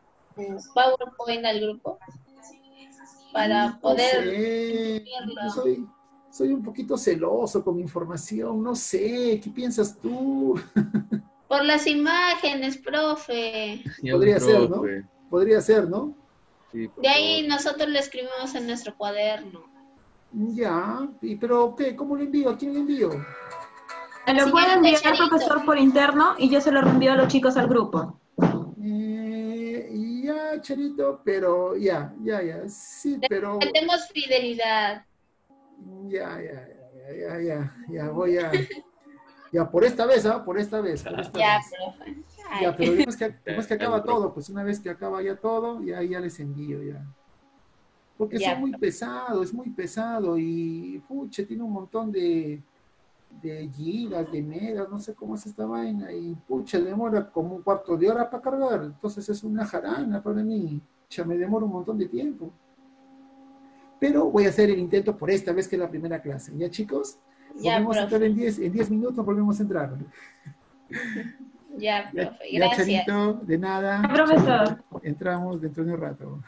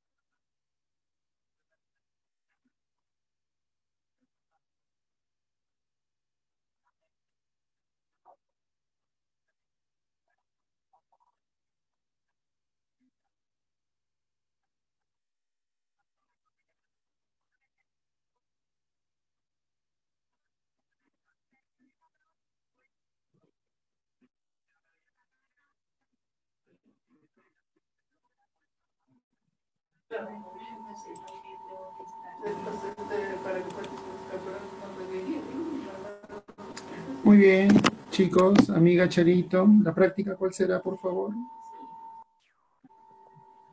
¿Le envío, profesor?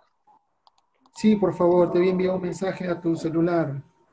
A ver, la pregunta uno, la pregunta uno dice, ¿establecía que con la historia se podía establecer analogías y similitudes? Profesor, ahí le llegó. A ver, vamos a ver. Ahí le llegó.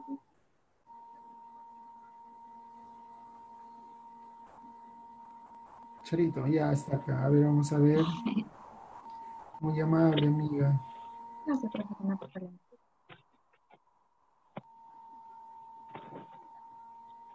Pregunta uno. Sí, está bien. Ya, ya está bien. Ya, gracias. Muchas gracias. Ya, profesor. Amiguita, son 50. ¿Cuántos cuántos son? Son 50, creo, ¿no? Sí. Ya. 50 preguntas. A ver, chicos, a lucirse. Vamos a ver, muchachones. Ustedes son lo máximo, chicos. Vamos a desarrollar este ciclo de la manera más amena posible y con muchas claves para ustedes. ¿Ya, muchachos? Ya está, chicos. A ver, vamos a empezar. Vamos a desarrollar, vamos a desarrollar las 50 preguntas que cada semana vamos a ir mm, analizando cada tema según el prospecto. Este, les vamos a dar más temas, más datos que el mismo CEPOM, porque incluso, porque acá tenemos como ustedes tres horas, así es que aprovechenlo al máximo, son buenos muchachos y para adelante chicos. A ver, vamos a empezar.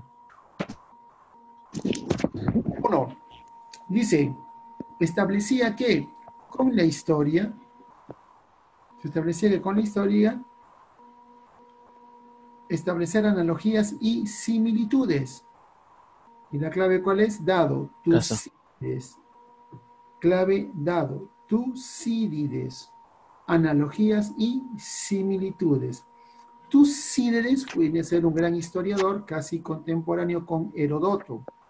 Herodoto hace una descripción de los hechos de Asia, de Europa, en el contexto de las guerras médicas. Y otro historiador importante viene a ser Tucídides, que establece una analogía, una similitud para comparar a la historia y establecer patrones típicos de un hecho. Pregunta número dos. Para el estudio científico de la historia, se utiliza fundamentalmente, chicos, clave enano 3 y 5. La crítica, la historia es pura crítica y es análisis. ¿No se han dado cuenta que a veces yo paro haciendo un análisis un poco radical, paro criticando, porque la historia establece eso, establece para un rigor científico, establece la crítica y el análisis, principalmente muchachos, clave enano. Pregunta 3. El método, el método histórico empieza a alcanzar su máxima rigurosidad con el siglo, dado siglo XX. ¿Y qué pasó? De repente algunos están tomando apuntes. ¿Y qué pasó por ahí? Es ahí donde aparece la escuela de los anales. ¿Qué? La escuela de los anales con doble N. La escuela de los anales es una escuela histórica que apareció en Francia en el siglo XX y establece hacer un estudio social, político y económico de un hecho, de un acontecimiento. Entonces, la historia tiene que ver con la economía, la sociedad y la política, para establecer un todo, una conclusión, una deducción, chicos. Sigue por acá. Pregunta número Pregunta número cuatro. En relación al método histórico, con la se establece que los grupos humanos van cambiando su estructura, a través del tiempo, todo cambia, todo se modifica, todo se va transformando. Chicos, ¿cuál es la clave? Todo cambia. Dialéctica. Muy bien, la dialéctica, pues todo cambia. La historia. A ver, un pequeño comentario para muchos de ustedes. ¿Van a llevar cursos básicos, el primer ciclo en la universidad, chicos? La historia tiene que ver cuando yo repito la misma soncera. Repito, no. Cada ciclo, no. La historia tiene que ver con ir dando nuevos datos, realizando nuevas investigaciones, nuevos hechos. Eso es la historia, muchachos. ¿Ya? Ténganlo muy en cuenta, por favor. Sigue. Pregunta número 5. Son las principales técnicas con las cuales se puede obtener una cronología absoluta de la historia. Hay muchas técnicas. El radiocarbono 14 es una de ellas. Fundamental. También existe el radiocarbono 18. También existe el radiocarbono 18. Claro. También existe el radiocarbono 22. Yo pensé que solo era 14. No, son varios radiocarbonos. Muchachos, uno es el radiocarbono 14. Otro, la prueba del potasio y argón. Y el tercero, el cronográfico. Clave casa. Dos, tres y cuatro. Clave casa. El más conocido por todos ustedes, el radiocarbono 14. ¿Y se acordarán quién lo aplicó por primera vez en el Perú? A ver, vamos a compartir el conocimiento, ustedes y yo, por intermedio de, un dispositivo electromagnético, tecnológico. A ver, a ver, Gypsy. A ver, Jesús. Ay, ay, ay. Mejor me callo. Chicos, lo aplica por primera vez en el Perú el gran Junius Bird. Semana 3, las culturas del Perú. ¿Y lo aplicó? ¿En qué lugar lo aplicó Junius Bird? Sería el colmo. ¿Huacaprieta? En Huacaprieta. Gypsy, por fin despertaste, Gypsy. en Huacaprieta. Muy bien, por fin. ¿Ese, ¿Ese señor es de la católica? No, es norteamericano ese señor. Ah, sí, es norteamericano, es norteamericano. Muy bien. Pregunta 6. En relación al tiempo cronológico, se basa en el calendario gregoriano, el cual apareció San Gregorio Magno, creó el calendario que tenemos nosotros, ¿no? Enero, febrero, marzo, abril, mayo, junio, julio. ¿En base a qué calendario se creó eso? En base al calendario romano. Muy bien, chicos. ¿Y cuándo apareció el calendario gregoriano? ¿Con Robespierre? No, ese es el calendario revolucionario, esa es otra ah. vaina. Y esto apareció, clave, dado en la Edad Media. Jóvenes, en la Edad Media aparece el tiempo cronológico. ¿Y se acuerdan que hay un error? ¿Cuántos años estamos atrasados? Seis. Seis años. O sea que ahorita estamos en qué año correctamente hablando? En el 2026. Muy bien. Si uno de ustedes tiene 15 años, su edad correcta es 21 años. ¿no? Ya Jesús, muy bien Jesús. Seguimos. Pregunta 7 son consideradas principales fuentes primarias. Ya, ya con esto ya me demuestran que son lo máximo. Ya. Fuentes primarias. Enano. Enano, pues, claro, muy bien. Tres, cuatro y cinco. Pregunta número ocho.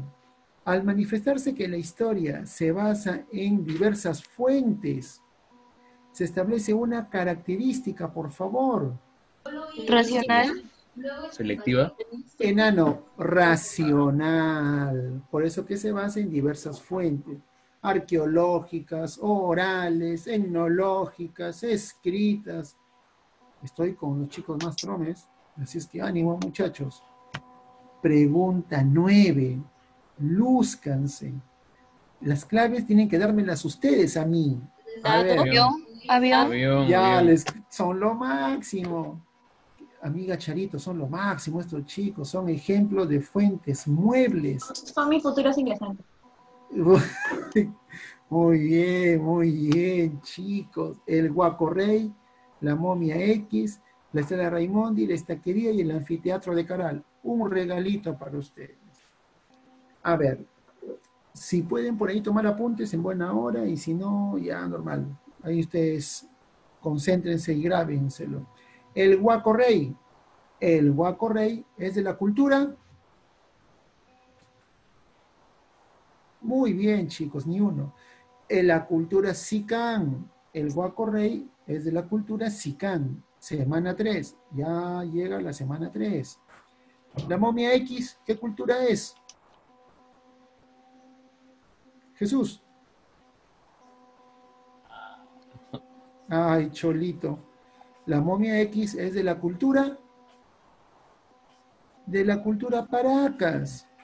Ya sería el colmo. ¿La Estela Raimondi? Ya sería el colmo, ya. Ipsi. Chavín, pues. Chavín. Ipsi está, está cenando. La estaquería. Se encuentra en la plataforma. La estaquería. Ah, Cayeron. Toditos cayeron. La estaquería. La, la estaquería. Joana. ¿está bien? La cultura nazca, pues, la estaquería. ¿Y el anfiteatro de Caral? No sé. Ya, pues no se pasen, Caral, pues, clave, avión. Avión. Uno, dos y tres. Diez. Uy, ya con estas preguntas. ¿Enano? todos. Enano. Enano, la prehistoria. ¿Quién es nuestra madre de la humanidad? La Lucy. Como que la Lucy. La Lucy, la Lucy. Como que la Lucy, no, Lucy. Lucy. Lucy. La Lucy. La Lucy. Ay, señorita. Pregunta, pregunta 11. Inicialmente fueron las tres etapas de la historia, dado 2, 4 y 5. La historia antigua, la historia del medievo y la historia nova o la historia nueva. ¿Sí? Y la clave es dado 2, 4 y 5. ¿Ya? 2, 4 y 5. Ahora, este, viene por acá, hay que silenciarlos, creo, ¿no? Que están haciendo mucha bulla. Y viene por acá lo que les comentaba. Si se corrigiera el calendario gregoriano, ya está. Clave, beso, besito, besito. Besito, la 12 besos, 6 años. Pregunta 11, dado, la 12 beso. Ya está. Pregunta 13. La guerra de los dado, Dado. Dado, la baja edad media. Muy bien. La baja edad media es eh, el periodo que se desarrolló entre el siglo X y el siglo XV. Pregunta 14. Son acontecimientos de la edad moderna, a excepción Casa. Casa. Casa, la Revolución Mexicana, Edad Contemporánea. contemporánea. 1910. 1910, 1911, 12, 13, 14, hasta el 17 creo que fue. Chicos, la 15, las Torres Gemelas, el Avión. atentado que tuvieron en el 2001 está ubicado en Estados Unidos, fue muy bien, ¿en qué parte? New Jersey. Nueva York. New- No. New Jersey. No sé. Ah, Nueva sí, York. sí, sí. Nueva York, fue clave avión en Nueva York. Ahí estuvieron las Torres Gemelas, ¿no? ¿Y quién fue el terrorista que se atribuyó Osama Bin Laden. Osama Bin Laden. ¿Y dónde está Osama Bin Laden? Supuestamente muerto. Supuestamente, muy bien, supuestamente muerto. 16.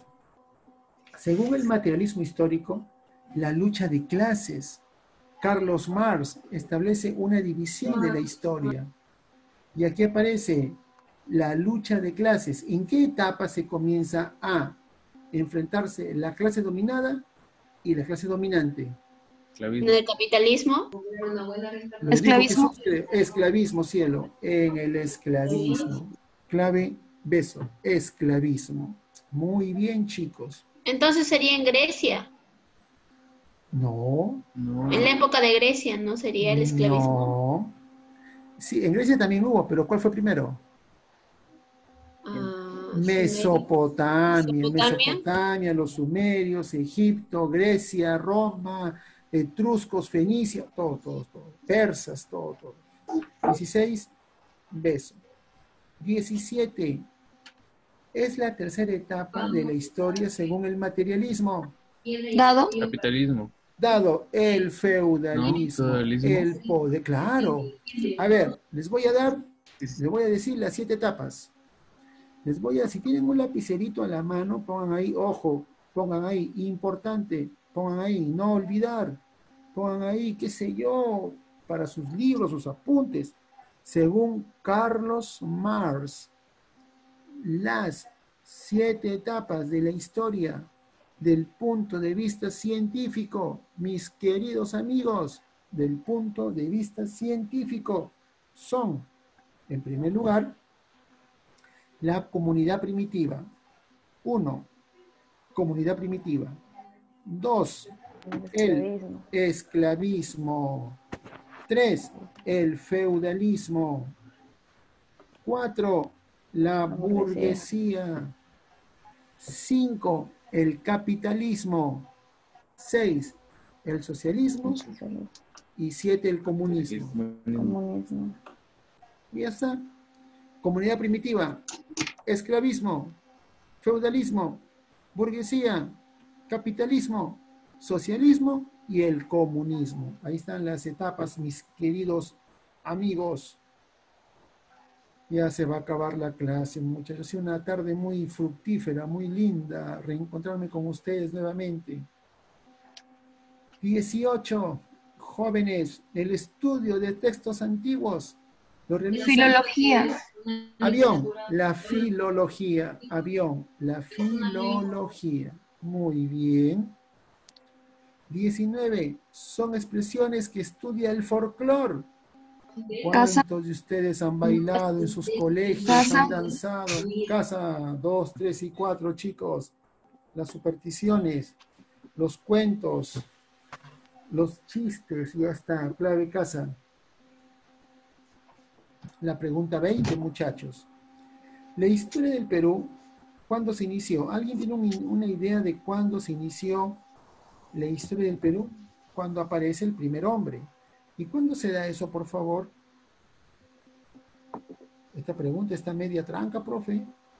El hombre apareció en el año 20.000 antes de Cristo. Entonces, bajo esa lógica, matemáticas, la historia del Perú, ¿cuánto tiempo tiene la historia del Perú?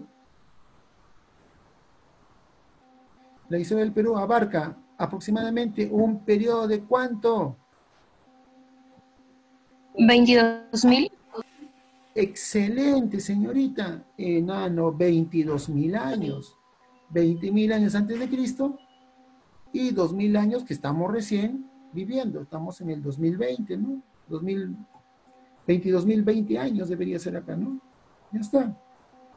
Pregunta 21. El Tahuantinsuyu llegó a su máxima expansión con Huayna Cápac. ¿En qué? es- Eh, si se acuerdan. El Tahuantinsuyu. Hablen con Huayna Cápac. La D, Beso, siglo XVI, 1500, mil, era al revés, 1500, mil, quin- mil- siglo XVI, 1500. Está bien. A ver, pregunta 22, chicos. Ahorita paso al aula de ciencias, tengo clase con ellos ahorita. Se manifiesta de Pablo Macera, a excepción, dado, Dado. Dado. porque Pablo Macera estudió En la Universidad Nacional Mayor de San Marcos. ¿Quién estudió en la Católica? Fernando Silva Santisteban. Pregunta 23. la división del tiempo histórico peruano propuesto por Pablo Macera, la dependencia de Inglaterra, la dependencia de Inglaterra se inició 1820. 1821. en 1824. En 1824, cuando aparece, aparece el primer empréstito, el primer préstamo de dinero. ¿Quién realizó el primer préstamo de dinero a Inglaterra? ¿Qué presidente del Perú promovió el primer préstamo económico a Inglaterra? El presidente José de la Mar. pues, Sí. ¿no? Pregunta 24. El proceso de hominización tuvo una duración aproximada de, dado, 49 millones 965 mil años duró la hominización. Ya está. ¿Cuál fue el primer resto que se encontró, chicos? Ida. Ida. Un Darwinius macilae. ¿Y cuál viene a ser el último resto que se ha encontrado? El hombre de Cromañón, el Homo sapiens sapiens. Chicos, pregunta número 25. Son enunciados relacionados con Charles Darwin, excepto uno, no tiene nada que ver. La adaptación de los primates. Es inaceptable la selección natural. La interrelación sexual entre el hombre y el primate hay una semejanza. Solo vivieron los más fuertes. ¿Cuál de esos no tiene nada que ver? Beso, nada que ver. Es inaceptable. Al contrario, sí se acepta la selección natural. Sobreviven los que se adaptan. Sobreviven los que se acoplan. Sobreviven los que se cuidan del coronavirus. Sobreviven aquellos que van a tomar medidas de seguridad para no contagiarse.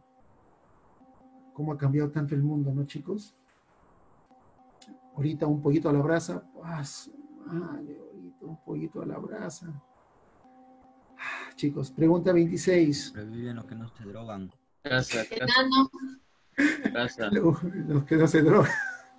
Pregunta 26. Fue la especie denominada como tal en homenaje a Charles, una especie. ¿Qué? Hardy. Fue en homenaje. No, ¿No? no, no, no, no, no, no, no. A Elvis. ver, Darwinius macilae. Darwinius. Darwinius macilae. Ah, no, me equivoqué. Ah, sí, ahí, ahí. ahí.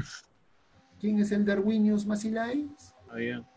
Avión, pues ida. Sí, sí, sí, ida, sí. ida. muy Ida con su colita. Muy bien, muchachos. Muy bien. Pregunta 27. En relación a Ardi. Se Enano. manifiesta. Muy bien. Muy bien. 3, 4 y 5. Existió durante el Plioceno. Su capacidad 300 centímetros cúbicos y es el homínido más primitivo hasta el día de hoy. Enano, 3, 4 y 5, muchachones. Pregunta 28. ¿Quién es Abel? El primer hombre. Apunten, amigos. ¿Quién es Abel? El primer hombre que se encontró. Todos han sido hembras. Ida, Ardi, Lucy. Todas son hembras. Y el primer hombre, Abel. Él es el primer hombre que se ha encontrado. Son enunciados relacionados con el homínido Abel, excepto uno, Avión. avión, porque fue encontrado mucho más al norte de Etiopía, muchísimo más, nada que ver con Etiopía, nada que ver. En, Coro, en Corotoro, creo. En Corotor, muy bien, muy, me sorprenden estos chicos, caramba. 29. Es el único resto del proceso de hominización que es ignita. ¿Qué significa ignita? Lucero, Hecho en Sara, piedra. eh, Gypsy. Gypsy, me está sorprendiendo. Ahora sí, Gypsy, ahora sí. Así siempre me dice. Sabes que te adoro, sabes que te adoro. Clave, casa, las pisadas de la Etoli, pues, ¿no? Porque fueron hechas fueron Por un vertebrado.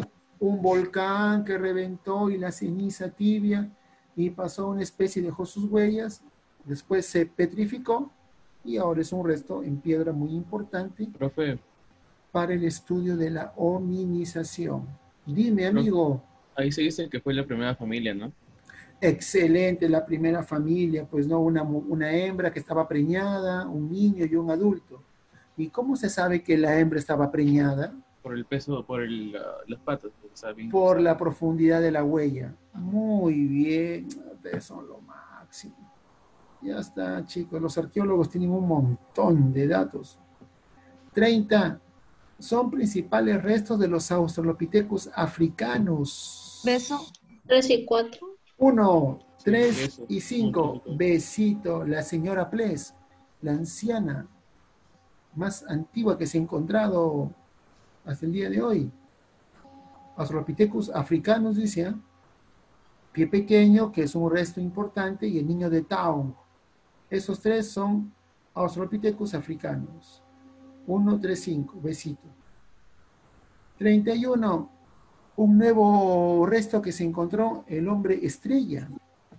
El hombre estrella es importante, ¿por qué chicos?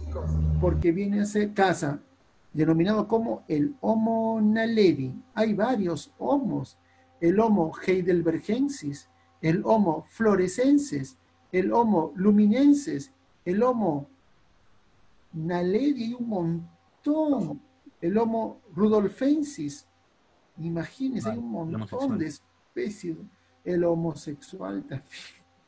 Pregunta trein- 32. El hombre de Old Dubai. El hombre de Old Avión. Dubai. Muy bien. El hombre de Old Dubai, ¿qué es? ¿Homo sapiens o el Homo sapiens sapiens? Sapiens. Homo sapiens. No, El hombre de Oh. Old Dubai viene a ser un Homo habilis. habilidad, ajá. El hombre de Old Mm. Dubai y el hombre de Turkana son Ah, dos. Ya está. El de Ergaster.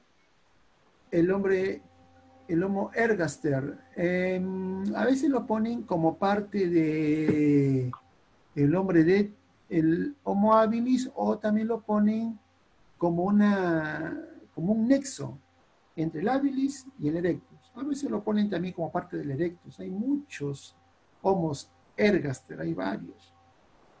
El hombre de Old Dubai, avión 1, 2 y 3.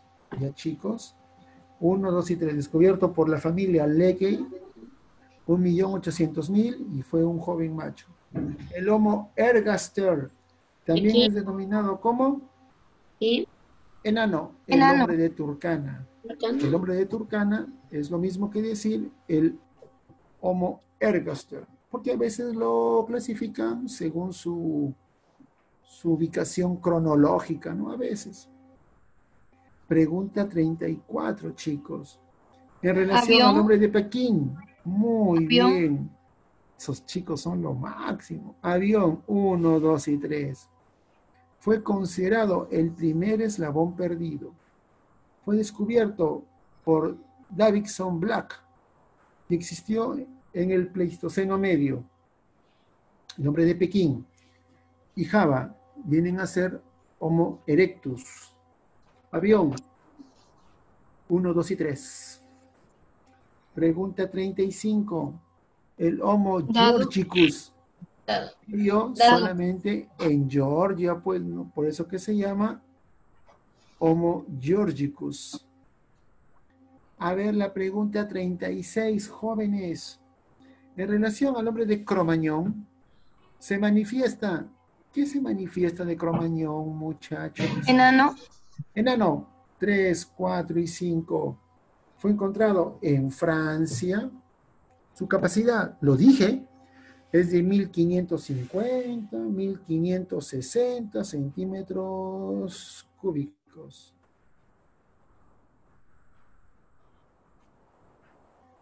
Y fue descubierto por Luis Lartet, enano 3, 4 y 5. Pregunta 37. Dado. Fue la Dado. glaciación que más tiempo duró. Dado. Wisconsin. Y Wisconsin tiene Otras denominaciones. ¿Cómo se llama en Europa? Gur. Muy bien, worm. En América del Sur, Boyimancas. atuel. Ah. Y en el Perú, Auricoya. Muy bien, Cielito, Gypsy, Jesús, muy bien. Chicos, 38 en relación a la megafauna. Megaterio. el más grande de todos. Dado. Megaterio. École. ¿Y en el Perú hubo megaterios? Mm, Sí. ¿En dónde se encontró? En- al norte de Chile, casi colindando con Argentina, creo. Ya, ¿Y en el Perú en dónde se encontró? Mm, madre ¿Saben, de saben- Dios. saben en dónde, chicos? ¿Saben en dónde? Se encontró en Paiján. Se encontró en La Libertad, se encontró en Lambayeque, se encontró en Piura, se encontró en Junín, se encontrado en Pasco, en Huánuco, en Loreto, en Piura, por si acaso, chicos, ¿ah? Pero ¿cuál fue la especie que más predominó por acá, por Trujillo? Hubo uno en Trujillo que más predominó. La esperanza, la esperanza. Ahí hay un cementerio. ¿Quiénes son de la esperanza, por favor? Cabras. A ver, Gypsy. Por el. mm, A ver, Torres.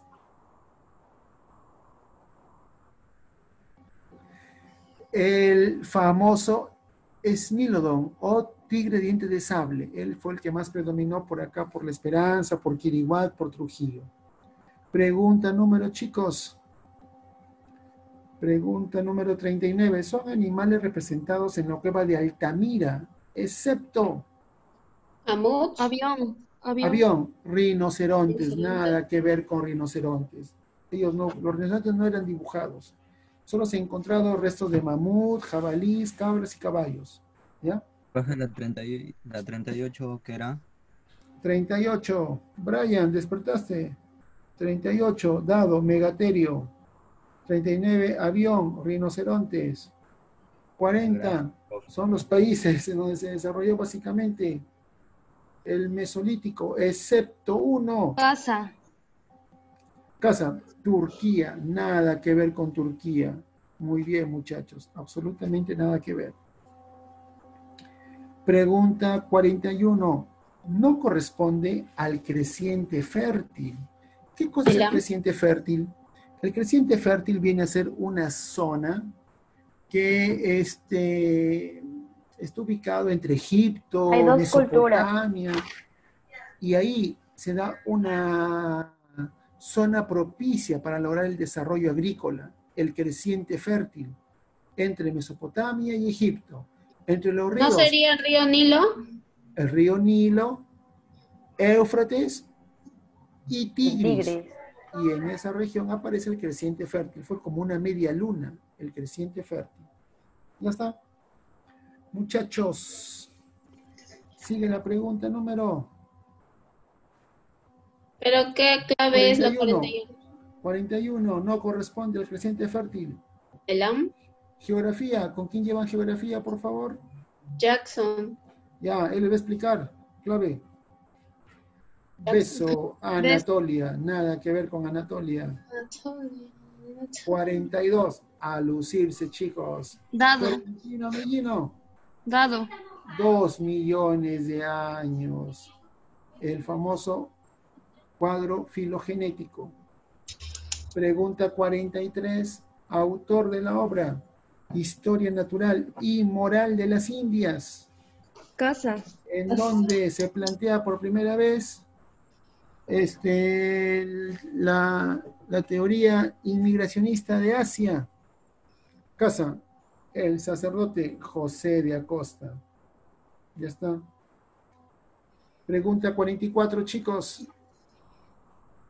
Dicen muchachos. En la actualidad, los investigadores seguidores de Alex Harlikla establecen qué cosa, chicos? Beso. Los primeros humanos llegaron en el año 70.000 antes de nuestra era. Otra ruta fue la corriente del Kuro Chiwo. Existieron tres oleadas migratorias. El hombre llegó a América huyendo de las bestias salvajes. Se Siguiéndolas. conclu- Claro, pues. Se concluye que hubo cinco rutas. No. Clave. Antes la Muy bien. Ya ves, muy bien, amiga Casana Cherres. Pregunta número, chicos, 45. Dado. Son características etnológicas. ¿Qué significará etnológico? Eh, costumbres, tradiciones. Costumbres, tradiciones, excepto, Dado.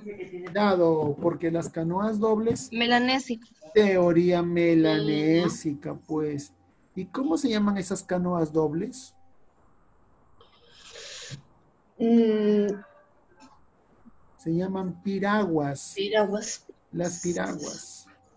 Chicos, pregunta 46. Durante la segunda migración melanésica, los hombres llegaron hasta las regiones de... Honduras y Chile. No. Casa Colombia y Estados Unidos, muchachos. Colombia y Estados Unidos. Pregunta 47. Son países relacionados con la ruta del Spondylus. Chicos, les voy a dar un datito. Un datito que les va a servir de mucho, muchachos. Hoy en día, en el siglo XXI, se está promoviendo diversas rutas por turismo. De repente una pregunta, razonamiento verbal, qué sé yo, por ahí el profe de geografía, el de comunicaciones hace un comentario. Chicos, ¿qué cosa pasó por acá, jóvenes?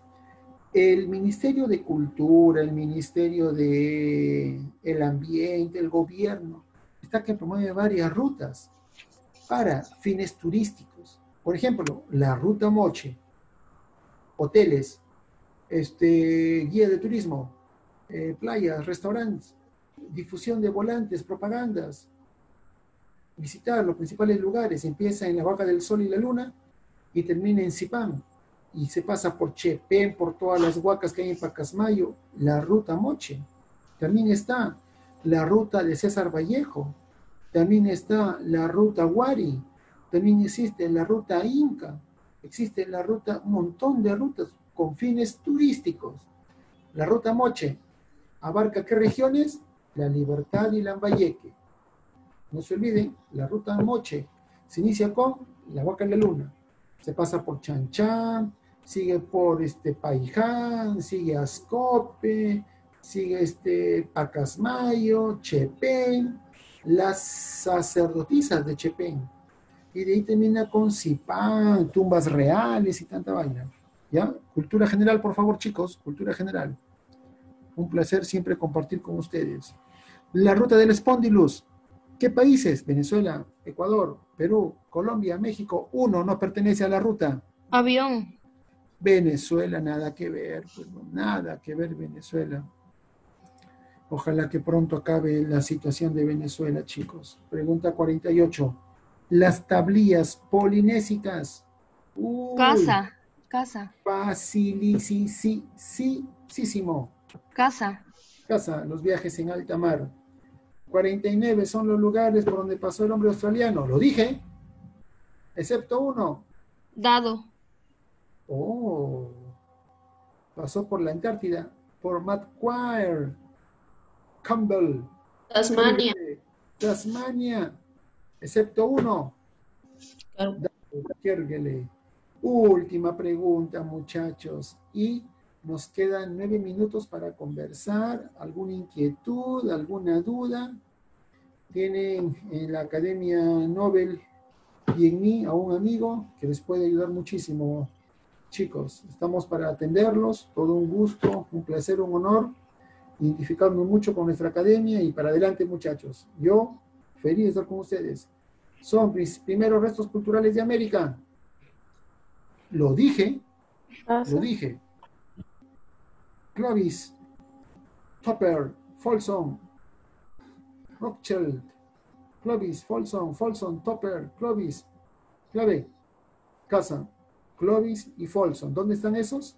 En Estados en Estados Unidos. Muy bien, muchachos. De aquí voy a entrar con los chicos de ciencias. Nos queda ocho minutos para acabar nuestra clase. A ver, ¿alguna consultita? ¿Algún dato? Aprovechen que podemos reformular, este, repasar. Profesor, ¿la, la ruta Inca desde dónde abarca hasta dónde? Oh, buena pregunta. Excelente pregunta. La ruta Inca tiene que ver con todo el Cusco, todititito el Cusco. ¿Tú te imaginas recorrer todo el Cusco? Es mucho, ¿sí o no? Es un montón. Solo Cusco, solo Cusco. La ruta, la ruta Vallejo tiene que ver con solo la libertad, solo la libertad, ¿ya? La ruta Guari tiene que ver con Lima y Ayacucho, Lima y Ayacucho. Todos, ¿estás interesado en estos temitas? En la página del Ministerio de Cultura, ahí está todito, todita la ruta, son varias rutas, ¿ah? Son un montón. Ya, profesor, muchas gracias. De nada, amiga. A ver. Siete minutos, aprovechemos. Profesor Martín, ¿puede repetir este, la hominización? Claro. Se inicia con Ida. Ida. Sigue Ardi. Sigue Lucy. Sigue las pisadas de la Itoli. Recapitulemos, profesor. Sigue el Homo habilis. Sigue el Homo erectus. Sigue el Homo sapiens y termina en el sapiens sapiens. Profesor Martín, ¿cuál es la capacidad craneana promedio del Homo, del Homo habilis? El Homo habilis más o menos 900, nove- 700, 800, 900, 1000 centímetros cúbicos. Listo.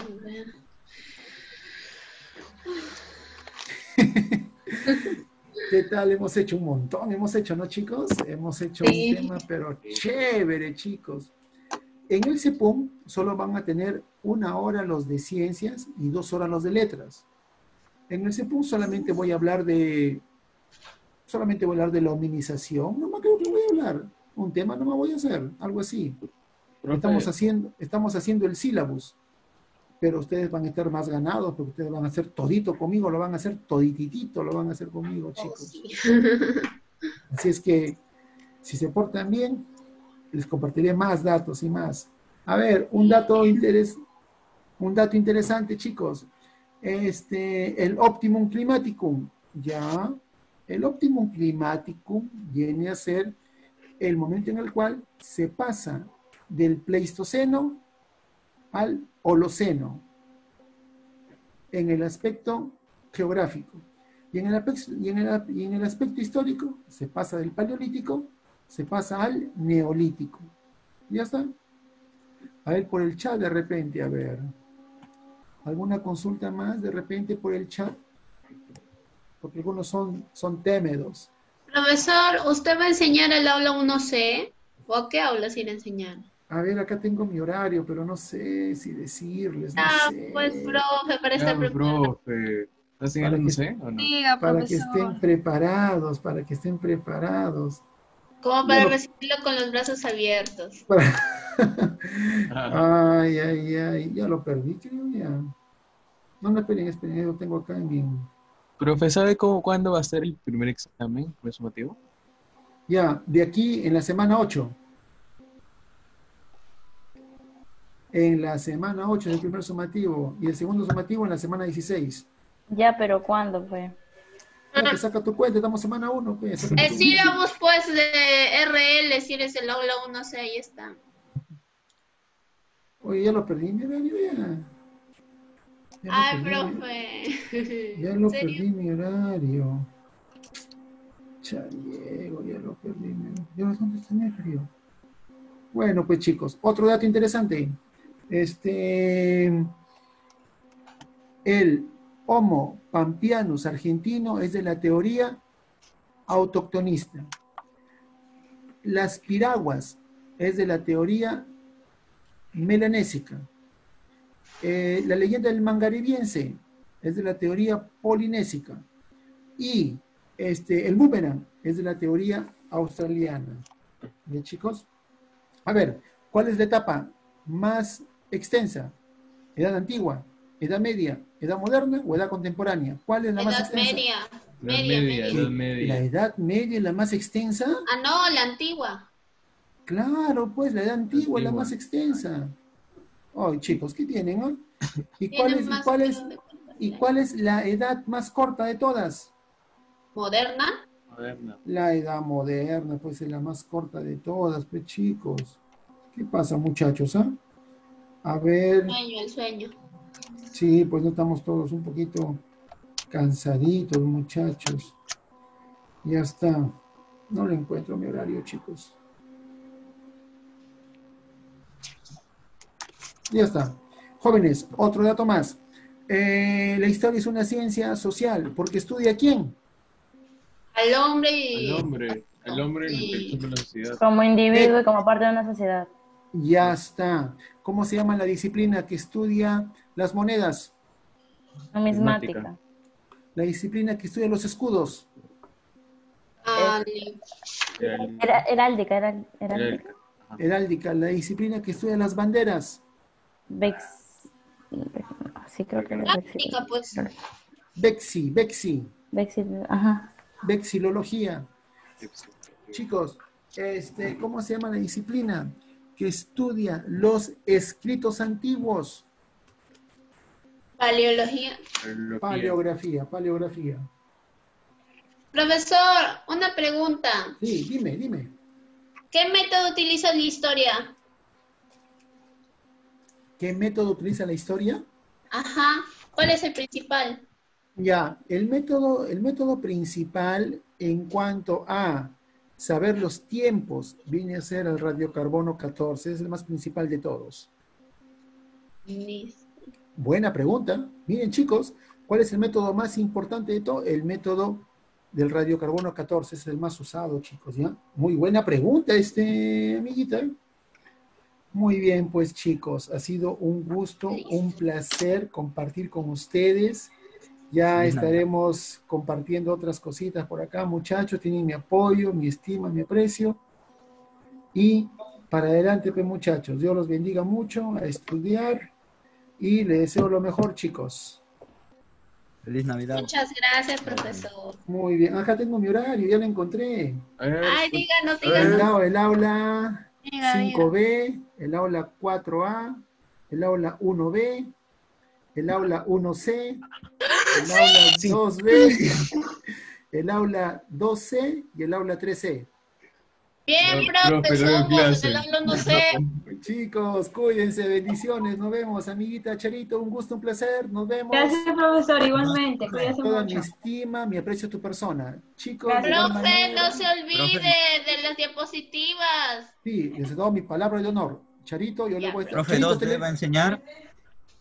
Charito, te le envío por el, te le envío por el, por el Gmail. Ya, le paso mi Gmail, profe, ahora. Por el sí, por favor, chicos, cuiden la diapositiva. El éxito, Ok, un profesor. abrazote. Chao. Ya, gracias. Muchas gracias. Una- Gracias Chicos. a ustedes. Ingresamos al siguiente enlace, que es de su clase de razonamiento verbal, ¿ya?